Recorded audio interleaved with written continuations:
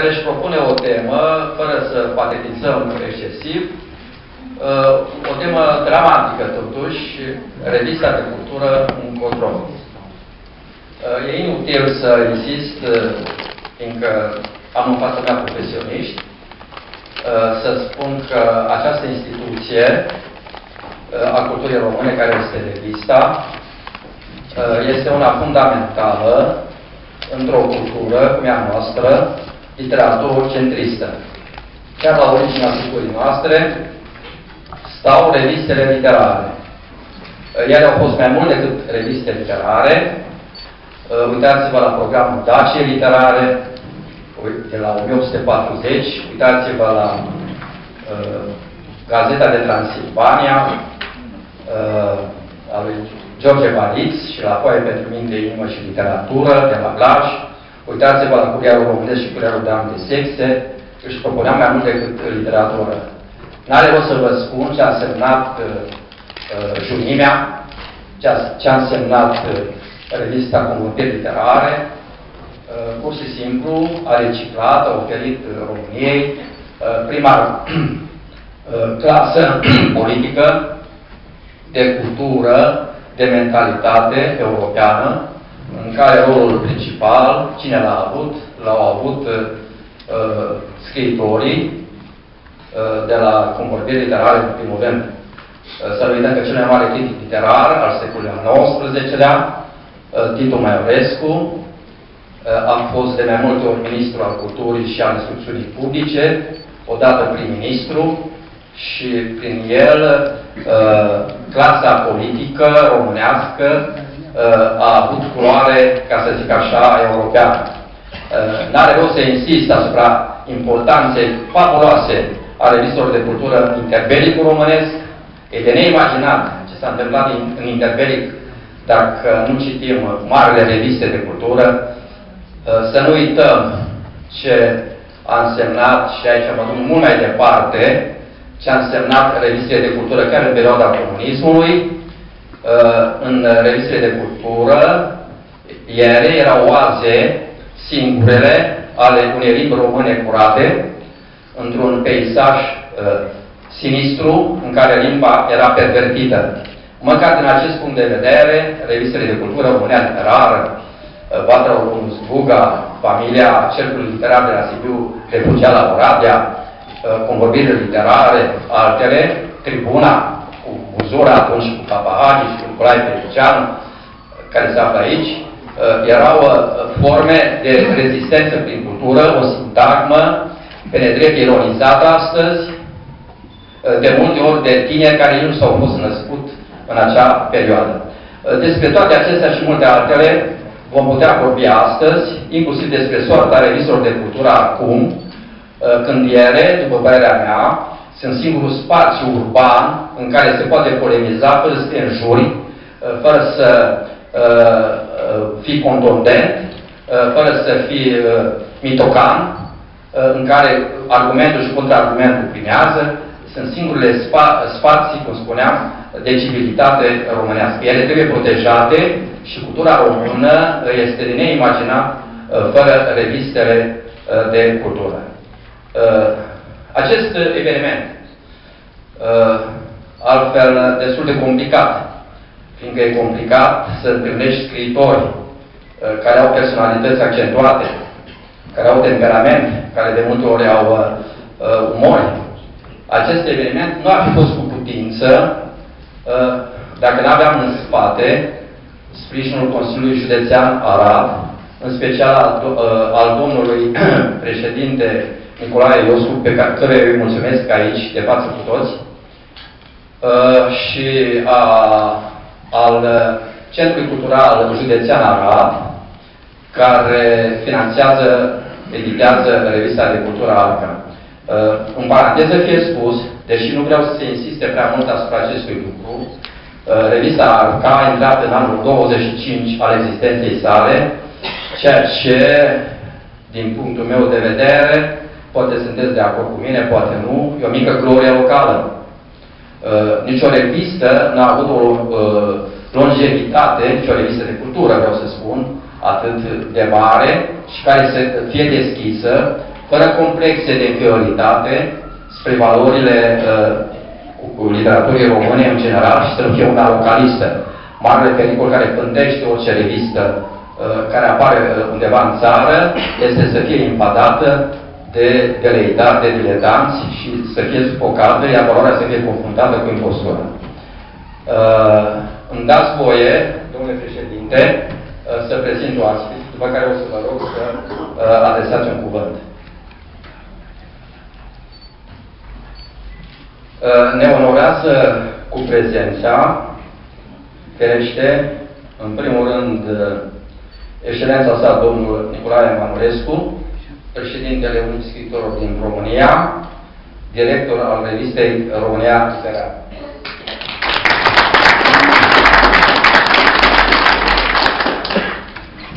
Uh, de asemenea, e prezent poetul și mai nou prozatorul foarte bun Gabriel Chifu, uh, vicepreședinte al Unii Scriitorilor, director executiv al Unii Literare. Uh, uneori, da. Uh, se află aici și mulțumesc poetul Nicolae Preliceanu, redactor șef al revistei Centenare, Viața Românească. Îi mulțumesc pentru prezență doamnei Alina Ledeanu, director al Fundației Culturale Secolul 21, fostul secol 20 și Spina lui Benaș, ardeanul nostru. Salut prezența domnului, poetului Casian Maria Spridon, redactorul șef al revistei cu vorbiri literare. Se află ca întotdeauna alături de noi uh, poeții Ioan Moldovan, director al revistei Familia din Oradea și drag șef, redactor șef. Îi mulțumesc uh, pentru efortul de a veni la Arad uh, criticului literar Alcis Terecan.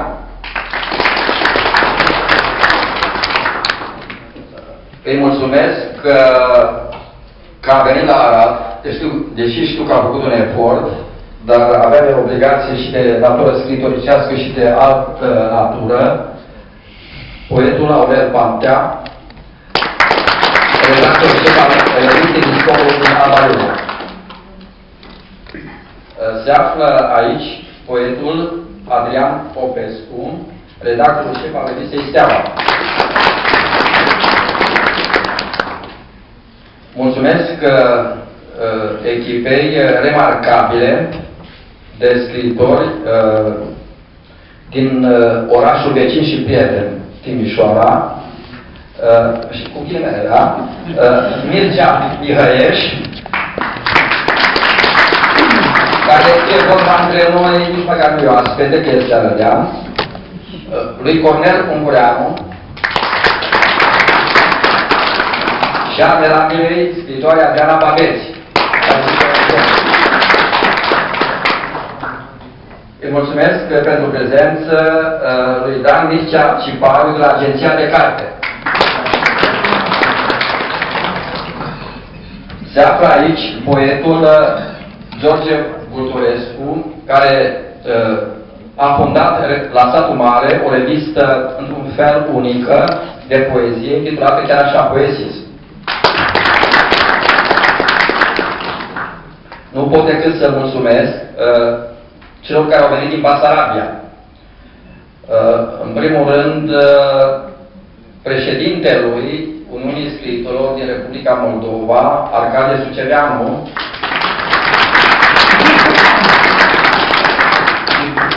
al care? Al, al, al, al Uniunii, bine spus, Și al filialei președintele Ocnav.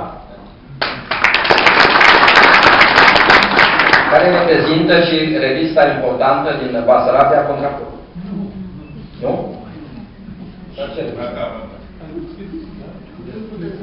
Deci vă contraziceți, vă mulțumesc. Uh,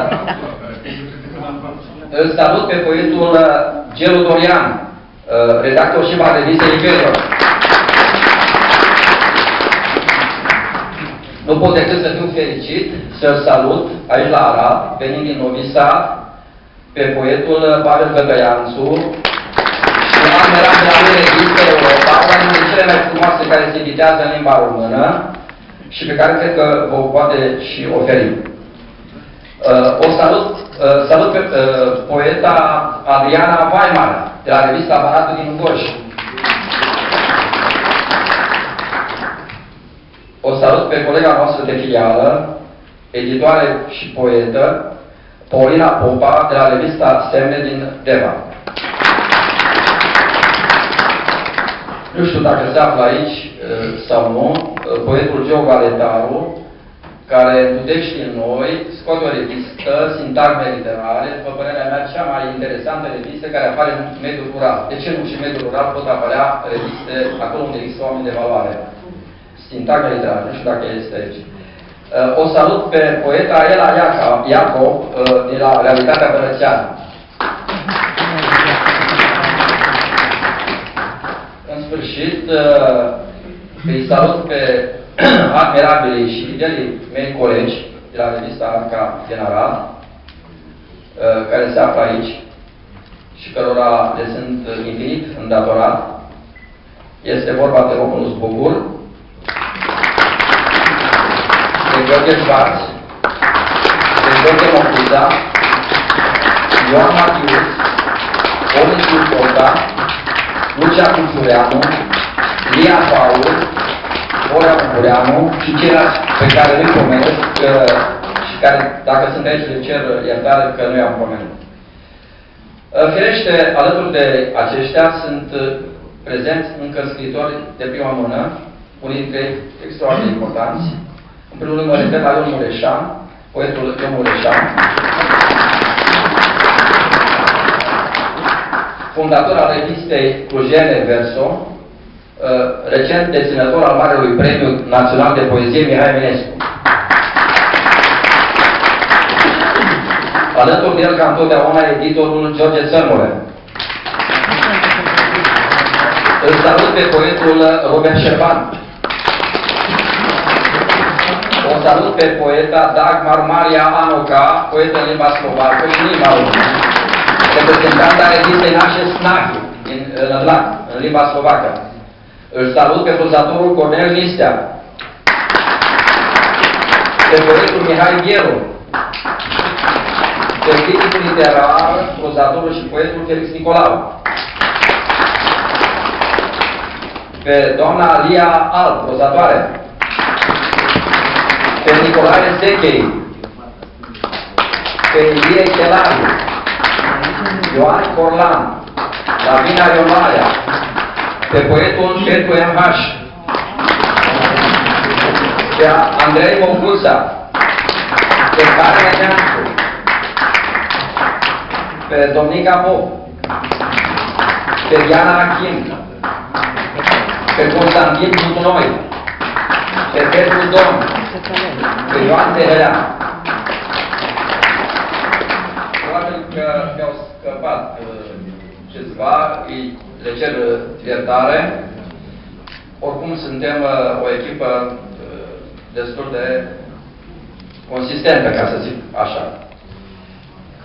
Înainte de a intra în probleme, problemele coloquiului, și de a-l ruga pe domnul Nicolae Manolescu, care mi se pare autoritatea indiscutabilă în materie, o să rog pe domnul președinte al Consiliului Județean, care ne face onoarea să fie de față, să...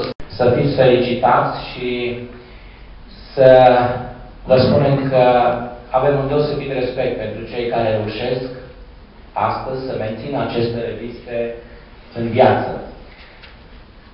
Dincolo de greutățile, să spunem, materiale, financiare, care duc ca de multe ori să fie foarte greu să menții o astfel de revistă în viață, sunt și alte lucruri care, cel puțin pe mine, mă îngrijorează. Pentru că astăzi spațiul public este bombardat și dus în extrem de ceea ce ni se vinde sau ceea ce ni se încearcă să ni se prezinte, mai ales în acea zonă audio-video și în special video, televiziunea, care este ocupată în momentul de față de cu totul altceva decât de ceea ce ar trebui să ducă la o mai bună înțelegere inclusiv a ceea ce înseamnă să fii român astăzi în Europa. Și spun acest lucru pentru că noi, Consiliul Județean Arad, dincolo de lucrurile firești pe care orice Consiliu sau orice primărie le face, și anume să încerce să dezvolte infrastructura de drumuri, infrastructura de apă, de canaluri, de toate celelalte care astăzi sunt, spunem, teme principale ale oricărei administrații locale, încercăm prin uh, Centrul Cultural să sprijinim activități care să mențină în viață multe din lucrurile care ne dragi în acest județ. Și eu cred că suntem unul din uh, consiliile județene care acordăm un sprijin important activităților culturale și nu numai, pentru că și sportul și toate celelalte lucruri uh, vin în uh, sprijinul acestei idei. Așa cum am luat și sistemul de sănătate, Consiliul Județean având în județul Arad 90% din sistemul de sănătate în subordine, am încercat să investim mult și în această zonă, pentru că, dincolo de orice percepție uh, politică, cred că uh, atât cultura cât și sănătatea n-au culoare politică. Dacă un drum îl mai decizi prin forța împrejurărilor că merge într-o anumită direcție, deși nici asta nu ar trebui să se întâmple, atât cultura cât și sănătatea nu pot fi direcționate punctual. Sprijinim toate instituțiile care activează în această zonă și încercăm în fiecare an să avem o paletă cât mai largă de activități care să creeze la Arad un loc propice ca astfel de manifestări să aibă, uh, să aibă o desfășurare corectă și în favoarea în favoarea județului și nu numai. Urez uh, mult succes tuturor și cu drag și întotdeauna Consiliul Județean prin Centrul Cultural va sprijini activități care să facă în așa fel încât dumneavoastră și alți colegi să se simtă bine primiți în județul nostru și o parte din ceea ce avem bani public să meargă și spre cultură. Chiar dacă vor fi critici întotdeauna din uh, zona politică și noi avem întotdeauna în Consiliul Județean când dezbatem bugetul, când uh, ajungem prin comisii, când ajungem la Centrul Cultural, întotdeauna sunt comentarii, că de ce asta sau de ce, de ce cealaltă. Dar uh, așa este viața noastră politică și cu toate acestea reușim întotdeauna să trecem peste astfel de momente și să alocăm uh, resursa financiară. Pentru că aici este rolul nostru. De aici încolo este rolul dumneavoastră și altor colegi să pună în mult mai mare valoare decât uh, cifra trecută într-o filă de buget să valorizeze mult mai mult această resursă financiară. Vă mulțumesc și vă urez succes tuturor! Uh, oricât de, de inspirație am fi noi, oricât de talentați, oricât de bun ar fi așa literatura noastră, uh, editarea unei reviste de cultură, mai ales în aceste vremuri superbe de tranziție, Uh, n-ar fi cu putință fără bani, să o spunem uh, pe aia dreaptă. Uh, banii pentru apariția revistei Arca și existența revistei Arca sunt asigurate de Centrul Cultural Județean. O rog pe doamna Ana Maria Dragoș, cu care avem o colaborare excelentă, să spună câteva cuvinte. Bună ziua! În primul rând doresc să spun bine ați venit uh, și nu în al doilea rând să urez revistei Arca mulți ani înainte și și astăzi, la un moment de sărbătoare, m-aș bucura ca la Arad uh, revistele de cultură să hotărească un drum comun, pentru că, de ce nu, la finalul acestui coloviu, să întocmim un document prin care excelența sa, domnul Nicolae Manolescu, să îl aducă celor care ne conduc acum de la București, spre a da o direcție clară și fixă revistelor de cultură și, de ce nu, să obținem o subvenție sigură pentru aceste reviste care sunt uh, la, nivel, uh, la nivel național, uh, să primim o subvenție și să, să se înțeleagă care este rolul acestor reviste de cultură. Mă scuzați că am emoții. Vă doresc încă o dată la mulți ani, mulțumim colaboratorilor revistei Arca și vă doresc multă putere de muncă. Mulțumesc! Gata, începe uh, dezbaterea, discuțiile despre uh, starea revistelor de cultură și ferește că oferă... Într-o publicație din ană, poate cu excepția unui anual pe care îl uh, făcea domnul Florin Bănescu pe, pe vremuri, dar asta e una din uh, ironiile uh, sorții. Uh, revenind la, la subiect, care e viața noastră, de fapt, aș vrea să spun că, după părerea mea, nu există, de fapt, o criză a revistelor culturale. Ca dovadă că, făcând drumul ăsta de 20 de pași de la ușă până aici, deja am adunat un tenculeț de reviste. Deci revistele literare din România există și sunt mult mai multe chiar decât le știm noi toți, chiar cei mai informați dintre noi, cum ar fi avem doi oameni foarte informați, pe domnul Nicolae Manolescu și pe Robert Șerbat.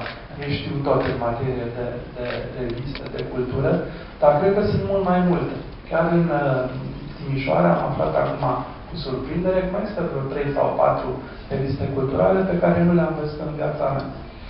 Cred însă că problema e cu adevărat gravă, pentru că, deși eu repet, nu avem un, uh, o criză a revistelor, avem o criză a cititorilor. Aici este marea problemă. Și multă vreme am fost dintre cei care m-am iluzionat că, de fapt, uh, problema este uh, distribu distribuția. Așa este, e o mare problemă. Problema este, de fapt, uh, cititorul, pentru că, și mă refer la revista Orizont, ne-am străduit, cel puțin în, uh, să zicem, în Timișoara, unde putem să controlăm, ca revista să fie la toate chioșcurile și importante și mai puțin importante, dar asta nu înseamnă că ea se vindea cu adevărat. Uh, deci e clar că ceva e defect în societatea românească și asta nu ține nici măcar de un dispreț față de, de elită. Uh, elită e, cred, oricine e în elită dacă face treaba bună. În mod paradoxal, cred că avem și câțiva politicieni de elită, pentru că și ei sunt asta, sunt un fel de crema a cremelor.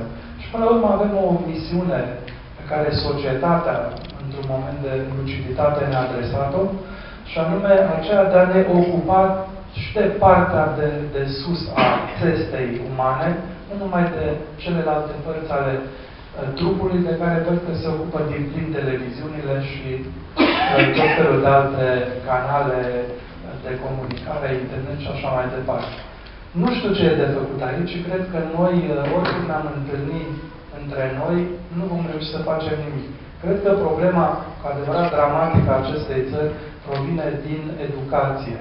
Acolo s-a stricat totul și s-a stricat în 1990 cu niște demoni care puseseră atunci mâna pe Uh, politică au simțit că uh, pericolul pentru ei uh, provine din partea unor minți care judecă limpede, care judecă liber. Și atunci toată acțiunea a fost foarte atent. A fost de a, a degrada învățământul. Prin formele pe care le știm. Niciodată, până vreme vreo 10, vreo 10 ani, de vreo 10, timp de vreo 10 ani, învățământul nu a fost uh, sprijinit cum merita. Scritori au fost Uh, profesori au fost ultimii care au primit acele adaosuri la salar, spunea, ei vor înțelege. Nu, cine nu înțelegeau? Nu înțelegeau minerii, nu înțelegeau ofițerii. Ofițerii de toate felurile nu înțelegeau chiar politicienii. Acolo Petreis a fost, a fost întotdeauna uh, suficientă uh, rezervă de, de, uh, de bani. Uh, e, e limpede, n-am pierdut partida din punctul ăsta de vedere, pentru că, predând, uh, așa cum uh, Școală Lungureanu și Adriana Babet și foarte mulți dintre uh, cei de față suntem în contact cu studenții, uh, îi vedem, vin în anul întâi de facultate, la o, facul, la o specializare care pe vremea când eram noi studenți se numea Facultatea de Citit Romane, noi eram uh, acum și încântați să mi se spună asta, vin fără să fi citit absolut nicio carte. Absolut nicio carte. Vorbesc de studenți la litere, nu vorbesc de uh, alte specializări. Uh, deci, din punctul ăsta de vedere, trebuie să ieșim cumva din, uh, din această uh, încercuire care uh, primejdește toată societatea uh, românească. Ne îmbătăm cu micile noastre succese. Noi la Orizont avem un noroc, că nu pot să spun că e o, o strategie de marketing chiar atât de uh, perfecționată. Avem noroc să fim, cred în noi, citiți pentru că sunt uh, uh, e un tiraj care se vinde aproape exclusiv prin uh, abonament. Dar nu despre asta e vorba. Ce facem? Ce facem peste 5 ani? Uh, domnul Manuelescu tot ne uh, amenință, o să vedeți voi uh, când o să am eu 90 de ani și voi nu veți mai fi. Uh, așa se, se va întâmpla, de fapt, dar înainte de a dispărea, vor dispărea, din păcate, revistele uh, literare. Deci cred că trebuie să găsim fiecare apoi în locul nostru uh, niște strategii mai agresive de a pătrunde, de a arăta la ce e bună uh, o, o revistă culturală. De a demara, dacă e necesar, o nouă alfabetizare. E, e într-un fel blestemul nostru. Mereu am luat-o de la, de la capăt, de când existăm. Și eu cred că existăm cam de pe vremea pașoptismului, din punct de vedere cultural. Așa am luat-o după primul război mondial, cu un anumit tip de uh, reculturalizare, prin realfabetizare, am, am luat-o și după al doilea război mondial, chiar dacă într-o direcție uh, sinistră, dar uh, din punct de vedere tehnic era corectă. Așa învățăm uh, ABC-ul uh, citirii uh, presei culturale. De ce? Pentru că aici îl citești și eu pe Mircea Dinescu, se spunea la un moment dat, tractoare românești putem face și în Bulgaria și orice produs uh, din ăsta de consum, cultură română însă nu putem face decât aici. Și am câte o fatalitate. Ori uh, uh, dispărem, ori trebuie să găsim mijloace practice. Și ele nu sunt complicate. Nu sunt niște uh, mari subtilități, de, să chemăm acum specialiști americani să ne spună cum uh, merg revistele culturale. Acolo merg foarte bine, în ciuda aparențelor, pentru că ele uh, se adresează într-o societate foarte stratificată exact publicului țintă. Noi, în România, suntem iar blestemați să ne adresăm într-un fel tuturor și nimănui.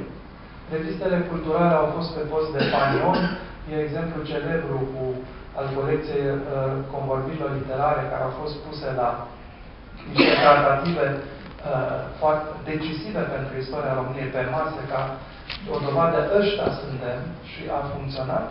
Și la polul celălalt este acest neam. Uh, da, pot să fac oricâte apeluri, că știu că nu le vom uh, urma, dar uh, ca un fel de, de diagnostic, eu spune că nu, nu, nu revistele culturale sunt problema, apărăm mai bine sau mai rău, mai bine scrise sau mai prost scrise, problema este ce facem cu ele, ce se întâmplă în minutul plus 1 după ce ies din tipografie. Mulțumesc! Da. Uh, observ că sunt și alte omisiuni. Era foarte inevitabil. Uh, îi salut prezența domnului Viorel Grațiu din Arad, primul și unicul traducător al Noului Testament din limba greacă veche. De asemenea, cred că l-am vorbit despre Aurel Maria Baros, președintele secției de proză a unui institut din București. Cea mai mare fială a unui scriitorilor, după aceea de poezie, dar dimensiunile lui sunt mai mari decât ale lui Cipariu, așa că...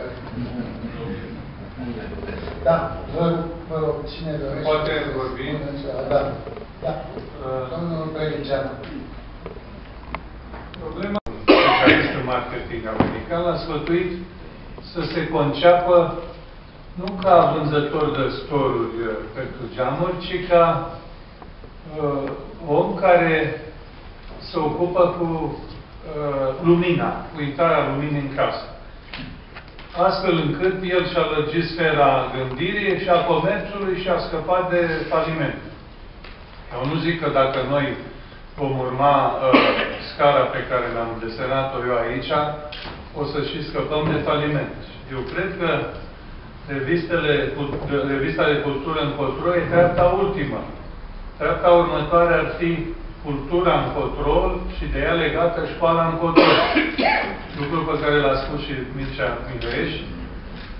Știu și eu că nu se mai citește nici în liceu, ci destul de puțin chiar în facultățile de uh, litere.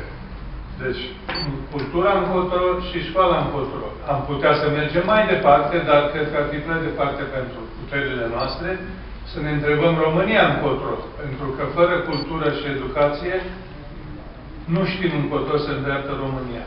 Și am putea să mergem până la capăt și să ne întrebăm lumea încotro. Pentru că oricât ar uh, apărea reviste literare sau de cultură și în America, și acolo ele sunt circunscrise într-un spațiu uh, foarte destrâns. În uh, patria noastră scumpă există un uh, mod de a se face patriotism, naționalism, trompetistic. Toată lumea dă din gură că își iubește patria, dar mulți dintre cei care spun asta o spun într-o limbă română defectuoasă. Cred că nu mai e nevoie să vă explic că sunt patrioți de carton. Așa cum sunt la noi și industriași de carton și oameni de afaceri de carton și așa mai departe. Culmea este că unul dintre, un om care face parte din un partid mereu respins de naționaliștii fervenți române, și anume Partidul Maghiarilor, Unor Kelemen, la Comisia de Cultură a Parlamentului fiind audiat pentru a redeveni ministru al culturii, a pus pe primul plan, pe unul dintre planurile principale, ca problemă națională, problema revistelor de cultură. Nu, patrioții uh, noștri n-au făcut asta până acum. El însă a înțeles, nu s-a referit numai la cele românești, dar evident că în România majoritatea sunt în limba română. Sunt și în limba maghiară. Să fie și e foarte bine, chiar așa și trebuie. În al doilea rând, vreau să vă spun altceva. Probabil că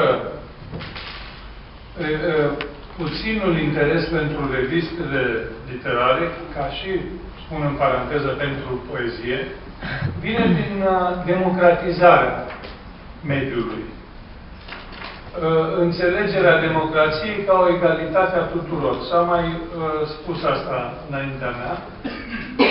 Și în cadrul acestei egalități nu mai suportăm alte ierarhii, avem ierarhiile administrative, ierarhiile politice de ajuns. În cultură, vedeți și dumneavoastră, chiar cuvântul elite este uh, un fel de înjurătură îi se spune lui Cleșu că face parte din elită, ca să nu îi se spună că e un porc. Îi se spune și asta, desigur, dar în zone mai uh, vesele. În ce privește publicațiile online, vă dau o veste bună.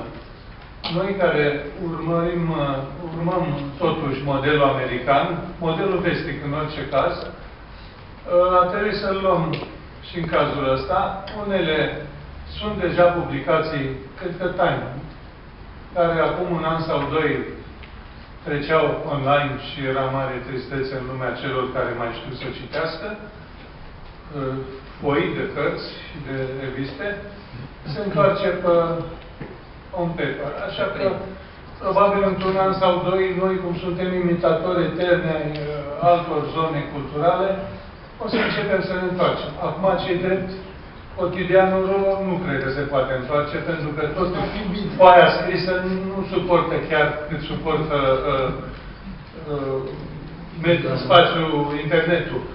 Vă țineți minte că se spunea mereu că foaia, foile suportă foarte mult, e bine, suportă foarte puțin față de uh, uh, spațiul electronic. Așa că N-aș putea, dragă Vasile Dan, să-ți răspund revista de cultură în control.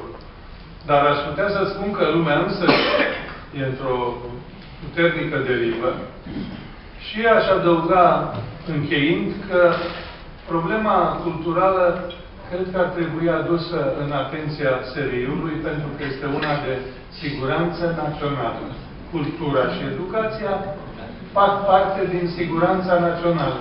Ca și uh, afacerile, nu, sănătatea s-a și anunțat, ca și afacerile curate și deci înlăturarea lor, uh, și cultura și uh, educația fac parte, dacă vom continua așa, România nu va mai, România, românii nu vom mai fi un popor, poate nici o națiune, și o să putem să ne împrăștiem în toate părțile, pentru că fără cultură nu mai limba e tot mai restrânsă, avem tot mai, sunt tot mai puține cuvinte cu care se comunică, uh, cel puțin în presa, mai ales în cea televizată, în cea audio și video. Uh, e ușor, nu mai, nu mai sunt referințe culturale decât uh, foarte rare și alea cred că sunt înțelese numai de noi care ne întrebăm revista de cultură în cultură. Așadar, uh, că nu trebuie să ne lamentăm, dar trebuie să știm totuși pe ce lume trăim și încotro s-ar putea să meargă această lume, chiar dacă mulți dintre noi nu o să mai fim atunci când ea va ajunge acolo, dar pe mine totuși mă interesează să nu se ducă dracului chiar tot. la care ar fi trebuit modificat, nu era decât de adăugat după o virgulă încă o sintagmă, atât tot. Și ar fi asigurați oarecum și din punct de vedere legal în privința dreptului de a edita reviste. Altminte, soarta revistelor de cultură, eu aș da o parabolă, de, de exemplu. Imediat facem 100 de ani de când Transilvania și alte părți s-au unit cu România, Față dumneavoastră un inventar al instituțiilor de cultură construite de România în această sută de ani, excluzând câteva case de cultură ale sindicatelor, eventual ale tineretului sau ale studenților. Și să vedem dacă România literară poate acoperi cu ea o coloană.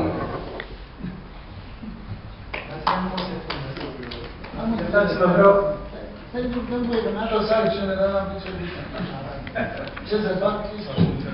Tomanescu, iertați-mă, întâlnim doar, doar în secundă. Și este legat, vă atacă pe dumneavoastră de o viață, dar oricum îl iubiți mai mult decât pe mine. Așa că nu, nu intru în această vorbă. Da, da, da. Iertați-mă, am, am simțit așa un frison prin sală când Cis a zis că uh, consiliile județene la Bad au dreptul. Vă spun în calitate de fost funcționar destul de priceput, pentru că pe lângă această lege a lor de funcționare este legea presei scrise, ceea ce permite și consiliile județene și primările sunt menționate în mod, uh, în mod expresis verbis, ca să zic așa. Deci, pot fi funcționale, pot fi uh, uh, subvenționate, să existe doar bunăvoință. Și în general, că așa, prietenește, mai ales că nu e foarte multă presă în sală, nu mai intrați în chestiunile astea care pot fi cu dublu aici.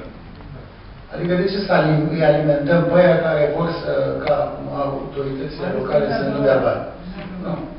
Asta, asta vreți? Asta va apărea în presă mine. Da. Crezi că o să apare ce ai spus? crești inteligentă și o să apară exact această chestie. Bun. Cine dorește să ia cuvântul? Da. Domnule președinte. George Vătulescu. Domnule președinte al Consiliului Județean, distinse prieten al nostru și cel care ne-a făcut să fim prezenți aici, Vasile Dan.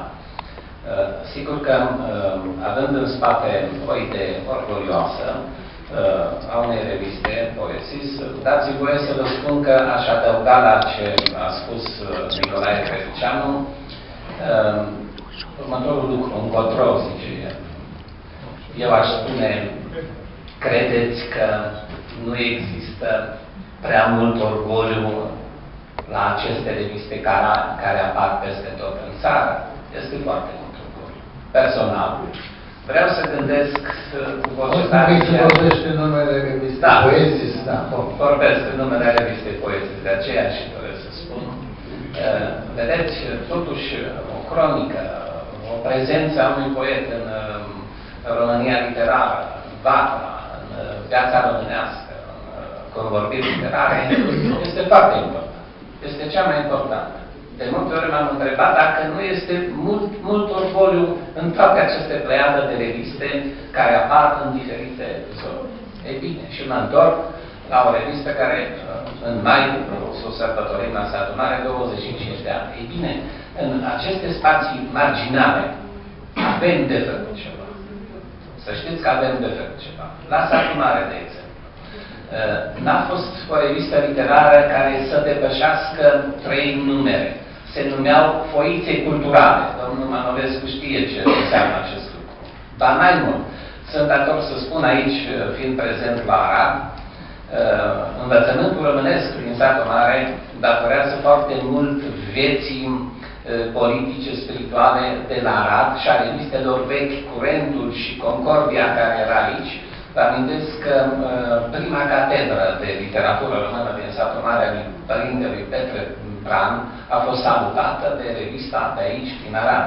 Vreau să vă spun că mari uh, oameni ai culturii din satul mare s-au refugiat și în perioada uh, interbelică aici, la Arad. Așadar, aduc un salut uh, pentru, uh, de la satul mare pentru dumneavoastră, cei de la Arad, și aș vrea să vă spun că, uh, din primul uh, lucru, deci primul gând este să îl felicit pe domnul președinte al Consiliului Județean ca pariat pe această formulă.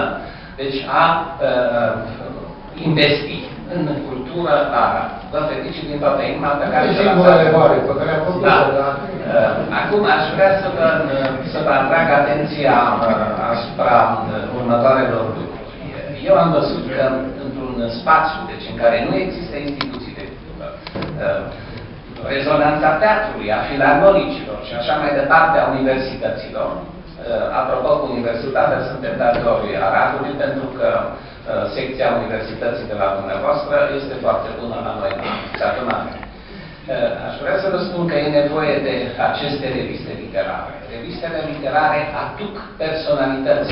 Mulți au spus ce îl apucă pe Vulturescu să facă acel festival la Satunare. Ei bine, uh, vreau să vă spun, primul scriitori, scriitori importanți, dumneavoastră, cu cărțile pe care le-ați donat bibliotecii de acolo, eu cred că totuși a lucrat ceva asupra mentalității noastre de acolo din satul Cred că este bine, dar cine se așteaptă? Că, de exemplu, să dai, uh, să dai lecții de la satul mare, revista Poesis, să dai lecții nu știu din ce localitate, cred că se înșală. Revistele acestea, deci, după mine, deci nu am dorit, să, nu pot să faci o copie la Satonare după România literară, după De aceea am gândit poesis în felul în care o știți și dumneavoastră. Nu acest lucru este de făcut, ci este de făcut uh, să ne protejăm valorile locale și prin revistele noastre să vină poezia, să vină literatura acolo în localitățile noastre. Acesta a fost gândul care m-a dus pe mine de-a lungul anilor Uh, felicitându-i pe colegii de aici, uh, permiteți-mi în final, uh, domnule președinte, domnule președinte al Consiliului Județean, să aduc de la adunare un premiu, dacă acceptați, de la o colegă care are tot 25 de ani și să o aici în fața dumneavoastră lui Vasile.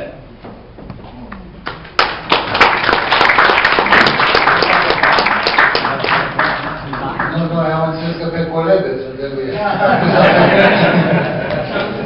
E pus o pică da. spate. Da. În primul rând, uh, l-aș putea pe domnul președinte să citiți dumneavoastră ce spune. Dacă o altă importanță, deci faptul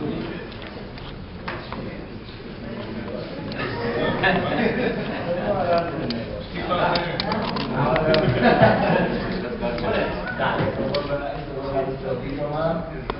pentru redacția revistei ACA și colaboratorilor ei pentru 25 de ani de prezență admirată în spațiul cultural național în dialog exigent cu valorile literaturii române și europene.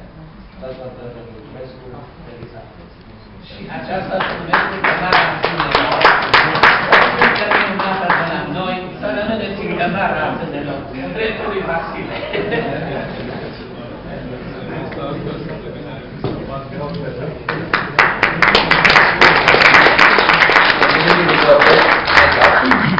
Vreau să spun că descoper încă o misiune, am găsit-o pe poeta Ana Gărdu din, cred că Vârșeț, nu? Din Vârșeț, din județul vecin, soția importantului poet, cel puțin eu l-am l-am admirat foarte tare, pentru că nu dispărut de mult dintre noi. Îi mulțumesc că a venit la mai bine literaturile regionale. Domnul Mihaieș vorbea de nouă alfabetizare. Este foarte important să gândim nouă alfabetizare și citesc cu mare plăcere revistele format carte care își propun dicționare de scritură. Trebuie să vedem să-i vedem, să știm pe cei care au fost, fiindcă începem, avem o viteză de a uita coșmaresc. Uităm foarte repede. Îi uităm foarte repede pe cei care au fost și mai ales pe cei care au fost lângă noi. De asta accentele cred că e important să le mutăm pe revistele regionale, să ne bucurăm că există reviste regionale excepționale și că, evident, autoritatea crește dacă în România literară apare un ciclu de poezii sau recenzii. Dar problema regionalizării a geografiei literare începe să fie una decisivă pentru bună așezare a societății românești, în care totuși trebuie să sperăm.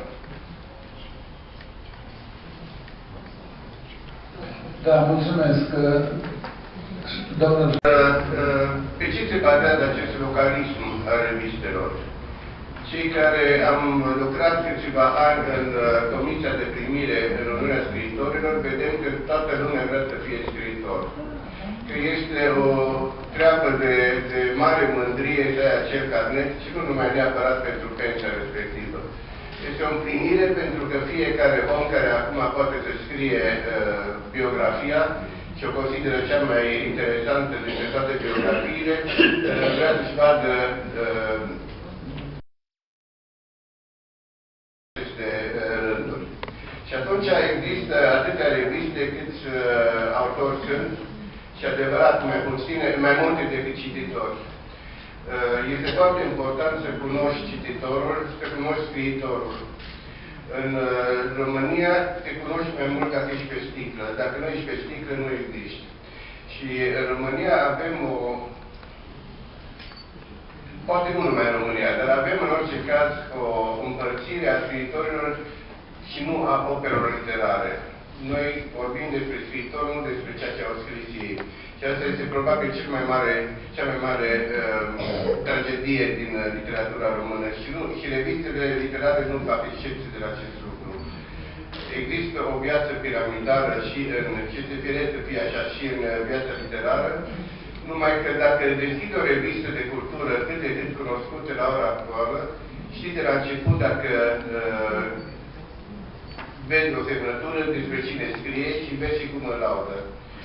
La ora actuală nu se mai fac uh, uh, demolări, cum s-a făcut pe vremuri. La ora actuală, uh, demolarea cea mai sigură este prin tăcere. Și uh, foarte mulți oameni care nu intră în vederile acestei uh, structuri, nu există pur și simplu. cred că uh, principala, principala problemă la ora actuală este ca și cuvântul scris să fie la fel de vizibil ca și cuvântul uh, de pe vorbit pe micul ecran și acest lucru îl fac niște televiziuni locale care însă nu reușesc să uh, înlocuiască marile televiziuni. Mai că televiziunile locale nu sunt pe rețelele mari de cablu și atunci nu, nu, lumea nu mai schimbă canalul. Cred că acesta este marea problemă la ora actuală a revizitelor. Revizitele vor supraviețui atâta timp cât există această filotomie, această dorință de, de memorire a fiecăruia dintre cei care uh, scriu câteva cuvinte. Uh, problema mare este aceea de a găsi o ordine și în uh, viața literară, pentru ca uh, ierarhiile să fie făcute după operă și nu după autor. Atât. Am mai scris doi, uh, Adrian Popescu. Se pregătește Gabriel Chifu și se pregătește... Cum va împlini cu pe scut sau sub scut, ca să spun așa. Păi trebuie să o scot la pensie, că e Da, așa au spus unii, au spus unii că ar fi gestul cel mai frumos ca la 65 de ani steaua să fie scoasă la pensie. Sper că nu se va întâmpla așa. Eu am încredere în cele două uh, inițiative legislative susținute și de uh, colegi de-ai noștri și de eforturile conducerii Uniunii. Am încredere și legea timbrului literar, care iarăși ar fi o salvare, oricum venind din două părți aceste proptele, să spunem, aceste schele, ar reînălța sau restaura această construcție a revistelor. Cele 8 sau 9 de patrimoniu s-a spus. Paradoxul de care vorbeam la început e următorul. Există un fel de, spunea cineva, o dictatură a relativismului, de ceea ce înseamnă un spirit democratic, cum poate s-a spus prost înțeles. Eu îi spun un relativism, un fel de amestecare a valorilor, încât cei care, cum să spun, ajung să scrie fie și o plachetă modestă, să crede deja scriitor de prima linie, și este o modă, s-a spus, cred că, de către domnul Schwarz, a scrisului, deci dă un fel de onorabilitate. Până acum chiar uh, o parte a clasei politice uh, se dădea de ceasul morții să-și dea doctorat. Acum, probabil că a fi scriitor cu carnet înseamnă iarăși un certificat de onorabilitate. Uh, lucrurile nu stau tot, totuși așa, pentru că până ajunge a fi un scriitor adevărat, trebuie să parcurgi niște trepte, cum să spun, de inițiere, de uh, culturalizare, de formare și continuitatea, ruptura și scandalul. Din acest punct de vedere, uh, critica literară iarăși spun că dacă lipsește spiritul critic în general, pulverizează și um, relativizează toată această însemnătate formatoare a revistelor literare. Facebook-ul, sigur că da, E un mod de a conversa, dar unul fără nicio obligativitate, fără nicio responsabilitate. De-aia revistele literare sunt atât de necesare să instituie nu un control, să spunem, ci un ghidaj, dacă vreți, printre valori. Și respectarea în fond a unei structuri care în cele din urmă trebuie să fie piramidală, n-ai cum face, că altfel orice este înlocuibil cu orice și totul devine posibil și nu mai avem criterii morale și criterii axiologice. Asta e rolul revistelor, ăsta trebuie menținut, de aceea să fac eforturi și merită făcut pentru câteva reviste, să nu ne zicem de direcție, dar oricum formatoare și purtătoare de sens, de substanță și de trilă valorică. Mulțumesc! Da, mulțumesc, domnul Gabriel Chifu. Nu, nu îți dau microfonul meu, te rog, descurcă-te, ce facem aici? Am pendulat aici, cum era normal, într-o perspectivă foarte largă, între întrebări de, de, de simț și tulburătoare și într-o privire de aproape accentuând soluțiile concrete și ale clipei. Eu cred că trebuie să reținem de pildă una din formulările lansate în dezbaterea noastră, există trei timpi ai, uh, reviste, ai revistelor literare, este un trecut și toți am căzut de acord că el este glorios în sensul că investiția în cultura scrisă care s-a făcut în timp a avut un efect înzecit, benefic asupra uh, țării, România modernă datorează mult registrelor de cultură. Ceea ce voiam să demonstrăm, trecutul ne ajută să demonstrăm viabilitatea acestui proiect, revistele literare, pentru uh, această țară. Avem un prezent și el este absolut uh, uh, unul care ar putea fi comparat cu un mers pe sârmă. În fiecare clipă ne aflăm uh, pe marginea prăpastiei. Există soluții, dar astea sunt niște soluții locale, particulare, nu există însă o unitate de măsură la nivelul uh, uh, național. O unitate de măsură și care să cuprindă o soluție coerentă și de durată pentru revistele de cultură. Și, evident, întrebarea din genericul dezbaterii noastre, încotro revistele, este una care sună îngrijorător. Nu putem uh, avea un viitor când prezentul este atât de nesigur. Uh, Iarăși, s-a vorbit și trebuie să ținem seama de asta. Situația revistelor de cultură nu poate fi roz uh, din moment ce situația învățământului, a educației, este într-o degringoladă, sunt într-o degringoladă atât de învățământul și, și educația sunt într-o degringoladă evidentă și lumea își pierde uh, accesul, să spunem, la a citi, care înseamnă a gândi și așa mai departe. Și se mulțumește cu hrană mestecată de agata oferită în special de televiziuni.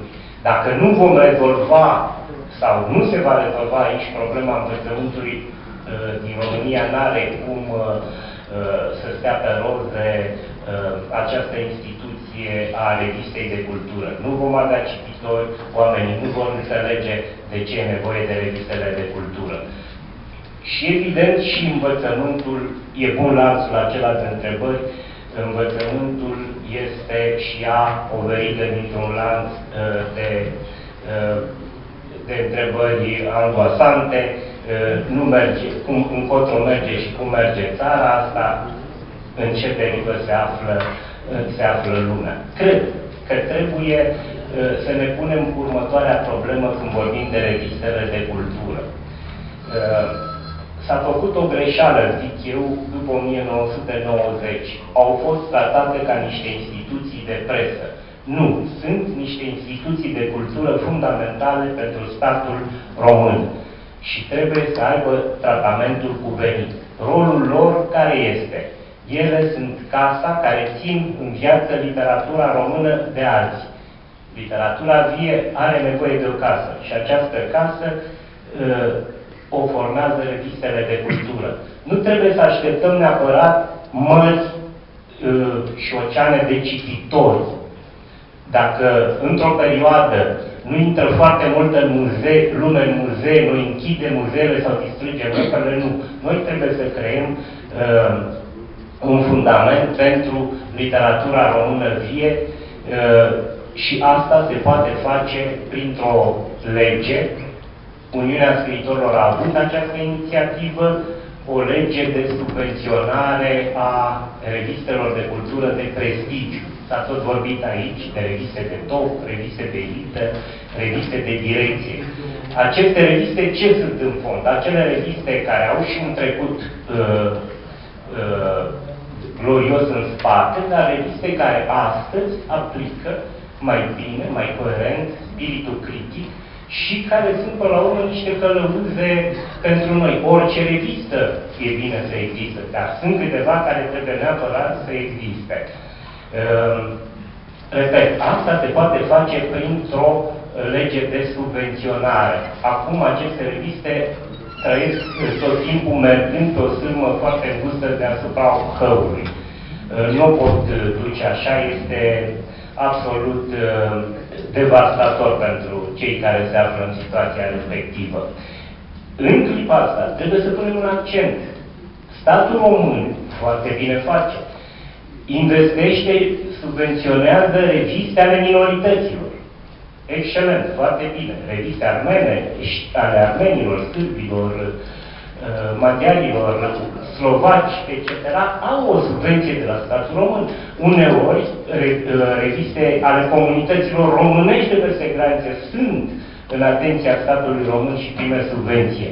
Hai să ne declarăm minorități. Da, păi suntem niște... Uh, Cultura chiar e minoritară. Dar marile reviste românești nu interesează. Acest lucru este, aș zice eu, sinucigaș. Nu știu dacă e foarte, e prea mare cuvântul și nu apreciază corect situația. E sinucigaș pentru statul român. Sper să avem o soluție pentru asta. Apoi, suntem aici să sărbătorim revista Arca, am plinit 25 de ani. A intrat în 25, nu mai contează. Cert e că uh, are un sfert de veac. Ea este exemplară dintr-un punct de vedere. Uh, eu, uh, privind de la distanță, e un avantaj să privești de la distanță această publicație, am observat că aici a fost, nu exista o tradiție, să spunem, nu exista o revistă, dar a fost un grup de scriitori foarte valoroși. Dacă, ești un, dacă într-un loc există oameni de vocație, ei pot să schimbe semnul locului acela. Așa s-a întâmplat la ARCA. Un grup de scriitori valoroși și-a creat un uh, instrument, revista ARCA, și apoi revista ARCA, devenind o revistă respectată, fiindcă este o revistă uh, care contează în, în ierarhiile literare din țară, a devenit un, un instrument care ridică toată comunitatea scritoricească și pe fiecare în parte felicit Consiliul Județean, îi felicit pe colegii noștri de aici și poate prezența noastră aici este și un semn al acestei aprecieri și solidarități. Mulțumesc! Mulțumesc, uh, domnul Lucian Vasiliu, dar pentru că s-a schimbat tema. România încotro, școala încotro, cultura încotro, revistele încotro. Îmi pun și eu câteva întrebări. Încotro, încotro sau încotrocen, filotimie sau filotomie, probabil prietenul nostru s-a gândit la Thomas Alpinor, filotomie. Filotomism. Da. Da. Eu prefer formula latinească, zic de domnul Barroso și lângă filosofanul Pavel Petre astăzi în Valea Timocului. E voivodină din E voivodină, mă simt voievod și eu cred că vecinii europeni. Ales că sunt și eu fel minoritar acum de când cu problemele Mării Negre și cu, am spus foarte bine excelență, că revistele sunt și incomode, mai ales pentru politică. A dovadă că în 1940 Pogălnicianu interzis, ale Cursoi exilat să culeagă folclor de la mănăstirile din uh, Brancea, ca să iei smolog literar de din E... Nu se duceau la țară ca să aibă unde să scrie liniștiți. Alexandru Xarus acolo și-a scris Miorița, crezi că a cules-o? Bineînțeles, a recules-o. Era în reculece, în refacere, de vacanță forțată de partea domniei de atunci, apropo de temă și anatemă, doamne președinte, eu mai colocvial, că am mai fost la colocvii dedicate presei dar finanțate cu gaz metan la Mediaș, Odinaș. Între timp, conducta a promis din Turcia s-a necat tot în lacul nostru mai mare. Dar revenind, spuneam că sunt și eu minoritar, după 40 de ani, am făcut armata aici, m-au repartizat pe atatul la Vașovia, să vizitez casa memorială de la Șiria a junimismului slavic. După 40 de ani mă întorc tot, tot soldat în armia noastră culturală. Dacia literară a apărut în, în format carte la 1940. Știți, la bacalaureat, domnul președinte al județului, teme, bacalaureat etern, programul Dacia literare. Și pe întrebarea s-a pus, asta e revistă, asta e carte. Da? Deci era formatul carte și știau ca șofiștii ce știau. Apropo de Cornelul Gureanu. Înapoi la carte. Mălărescu înapoi la Mămălescu, noi înapoi la carte. Există format carte. Primul ziar și revin la problema Dunării, gurilor Dunării și gurilor noastre convorbitoare. Primul ziar care a apărut în principatele noastre se datorează generalului Potemkin. A apărut în 1790 în limba franceză. Era ziar de informație militară. Potemkin fusese trimis de țarina Ecaterina a doua cu trupele tot aici spre gurile Dunăre și spre Marea Neagră. Și atunci ca să informeze sătenii, preoții, dascălii, vremurile de atunci, a lansat în 1790 la Iași Curier de Moldavie. Limba franceză. În franceză. Mă uit la prietenii noștri soldați din Transnistria. mă gândesc cu groază că ne întoarcem precum se pui prin Harghita Covasna Odilioară, că ne întoarcem în marginea Europei spre, spre estul transnistrean. Dar ne întoarcem cu, cu nădejde.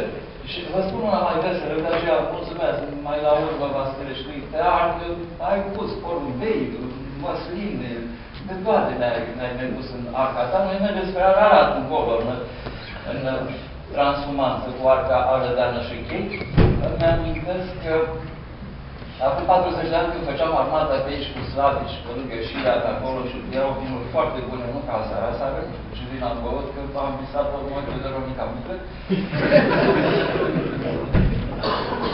am publicat în gazeta militară de atunci, cred că se chema Scutul Patriei, m-a rugat comandantul. Și ești din Moldova, cu mai au cu Călimara Școndelu, că am publicat aici Călimara Școndelu, eu un creangă de la Moșlăcă mai reamintim de la calculatoare citire, cum scria și uh, rostea creangă, abecedalul și manualul alternativ, uh, mi-a zis comandat, scriu poezie de asta, patriotică, nu patriotară, zice el. Nu cu Stalin, pe pe cu vremea, găsești tu ceva.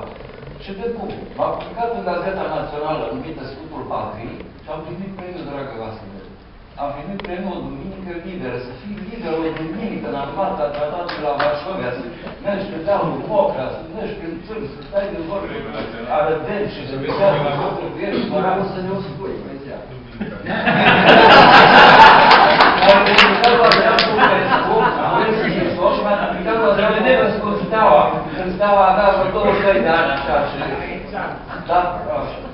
Încă cu gândul cel mai frumos. Mulțumesc că după 40 de ani ne regăsim în arca Noie, gădița Noie de Arad. Arad Noie Manulescu. Rimează, Arad, pentru mine rimează cu Bârlat, Bârlat, Arad, Bârlat, Tachi, Ancheșca, Târe, Ecumenici și Spiritele și cu Constantin Simirat. Știe de ce Arad rimează cu Constantin Simirat? Domnul Manolescu. A fost în Alianța Civică Casian este în Gelodean și alți prieteni moldavi, secuimea moldavă de la granița de est a Europei, mărturisește următorul lucru, domnule președinte. Acest Constantin Simiral, care rimează și cu Arad, era trimitar local, primar, l-am votat, Alianța Civică, am venit la Coțușca, la Botoșan, mai să votăm un primar să aibă grijă de cultură, de literatură, de patrimoniu. Ei, Memorăm scriitorul. Da, la un moment dat, vedeți, prin, prin târgul, prin târgul ieșilor și Nicolae Greceanu și amintește, ne opream și întreba, bre, Mihai Ustache are slujbă, Cezar Ivănescu vine de la București să-i dăm uh, apartament, mai știți un artist pe aici din Iași care n-are uh, soție, copii, noi suntem o familie, dar nu-i creamă, dar nu-i cantemir, dar nu-i dăm sofie, ce facem noi aici? Vă dăm slujbe, voi trebuie să faceți literatură, noi politică, voi ne votați și noi vă dăm finanțe, să mergeți la creștere, să mergeți la biserică, să faceți armata la NATO, nu la Varsovia de nou și așa mai departe. Încât acești demnitari, ca și în vremea lui Titu Maiorescu, eu aștept 99 de ani să-mi casă domnul Anorescu să devină ministrul culturii și instrucțiunii publice și atunci... Ce cu mine nu Păi da, am zis că nu știu dacă eu, da, spunea Micea că Uh, Dacă eu voi mai trăi să apuc momentul în care dumneavoastră să fiți ministrul culturii și împreună cu UDMR-ul, culturală națională, să mai dialogăm și online, să găsim formule alternative de convorbiri literare, ecumenice și pastorale.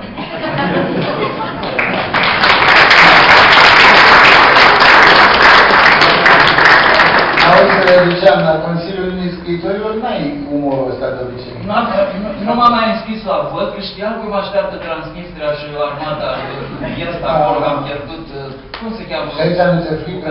Nu. Doi pași. Am, l-am votat pe Gelu Dorian, zice, Gelu, tu ești Eminescu, Ipotești, Veronica Micle, Eminescologie, ai și tu răutăți, batalioane, treceți lacul codrilor albastru și așa mai departe. Și eu am renunțat în favoarea lui Casilian, că el are clauza națiunii cele mai favorizate. Mai și de ce nu îi face și nu tot Și, eu, vă rog, Stai, stai că e o bată după care facem o pauză, că avem mari presiuni din partea fumătorilor. Corect.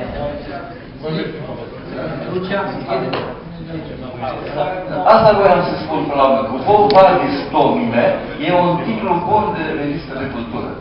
Nu încotro, încotro, va încotro cel, ci Vo Vadis Domine. Și i-am dat un Stai moto. puțin, Până acum unde se duce țara, învățământul, acum și Dumnezeu unde se duce. Păi aici e întrebarea fundamentală. Gheorghe Șvax poate să răspundă la întrebare.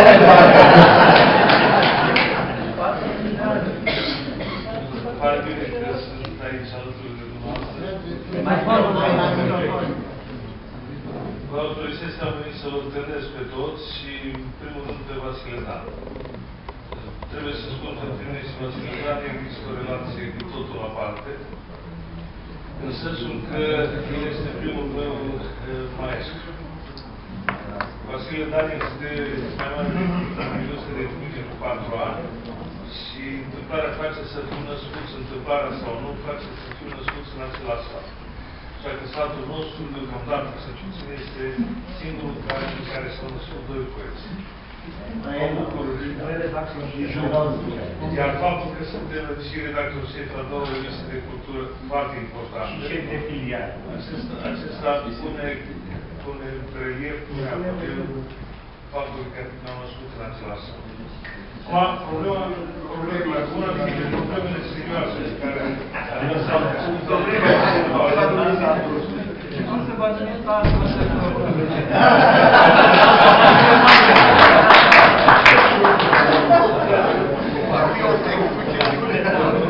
Familia Aurea s-a vorbit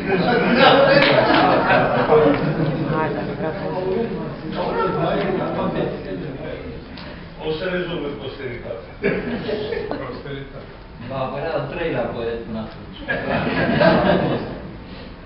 Problema care se, pe care vreau să mă pun alături de dumneavoastră în fața noastră este valoarea revistelor de cultură care apar în București, nu, nu în mari centri universitare, ci în zone mai umile, în zone mai, mai, marginale, unde, bineînțeles că există scriitori nu atât de vizibili, există scriitori nu atât de importanți și spiritul critic este, dacă nu lipsește cu desăvârșire, este cel puțin un duet.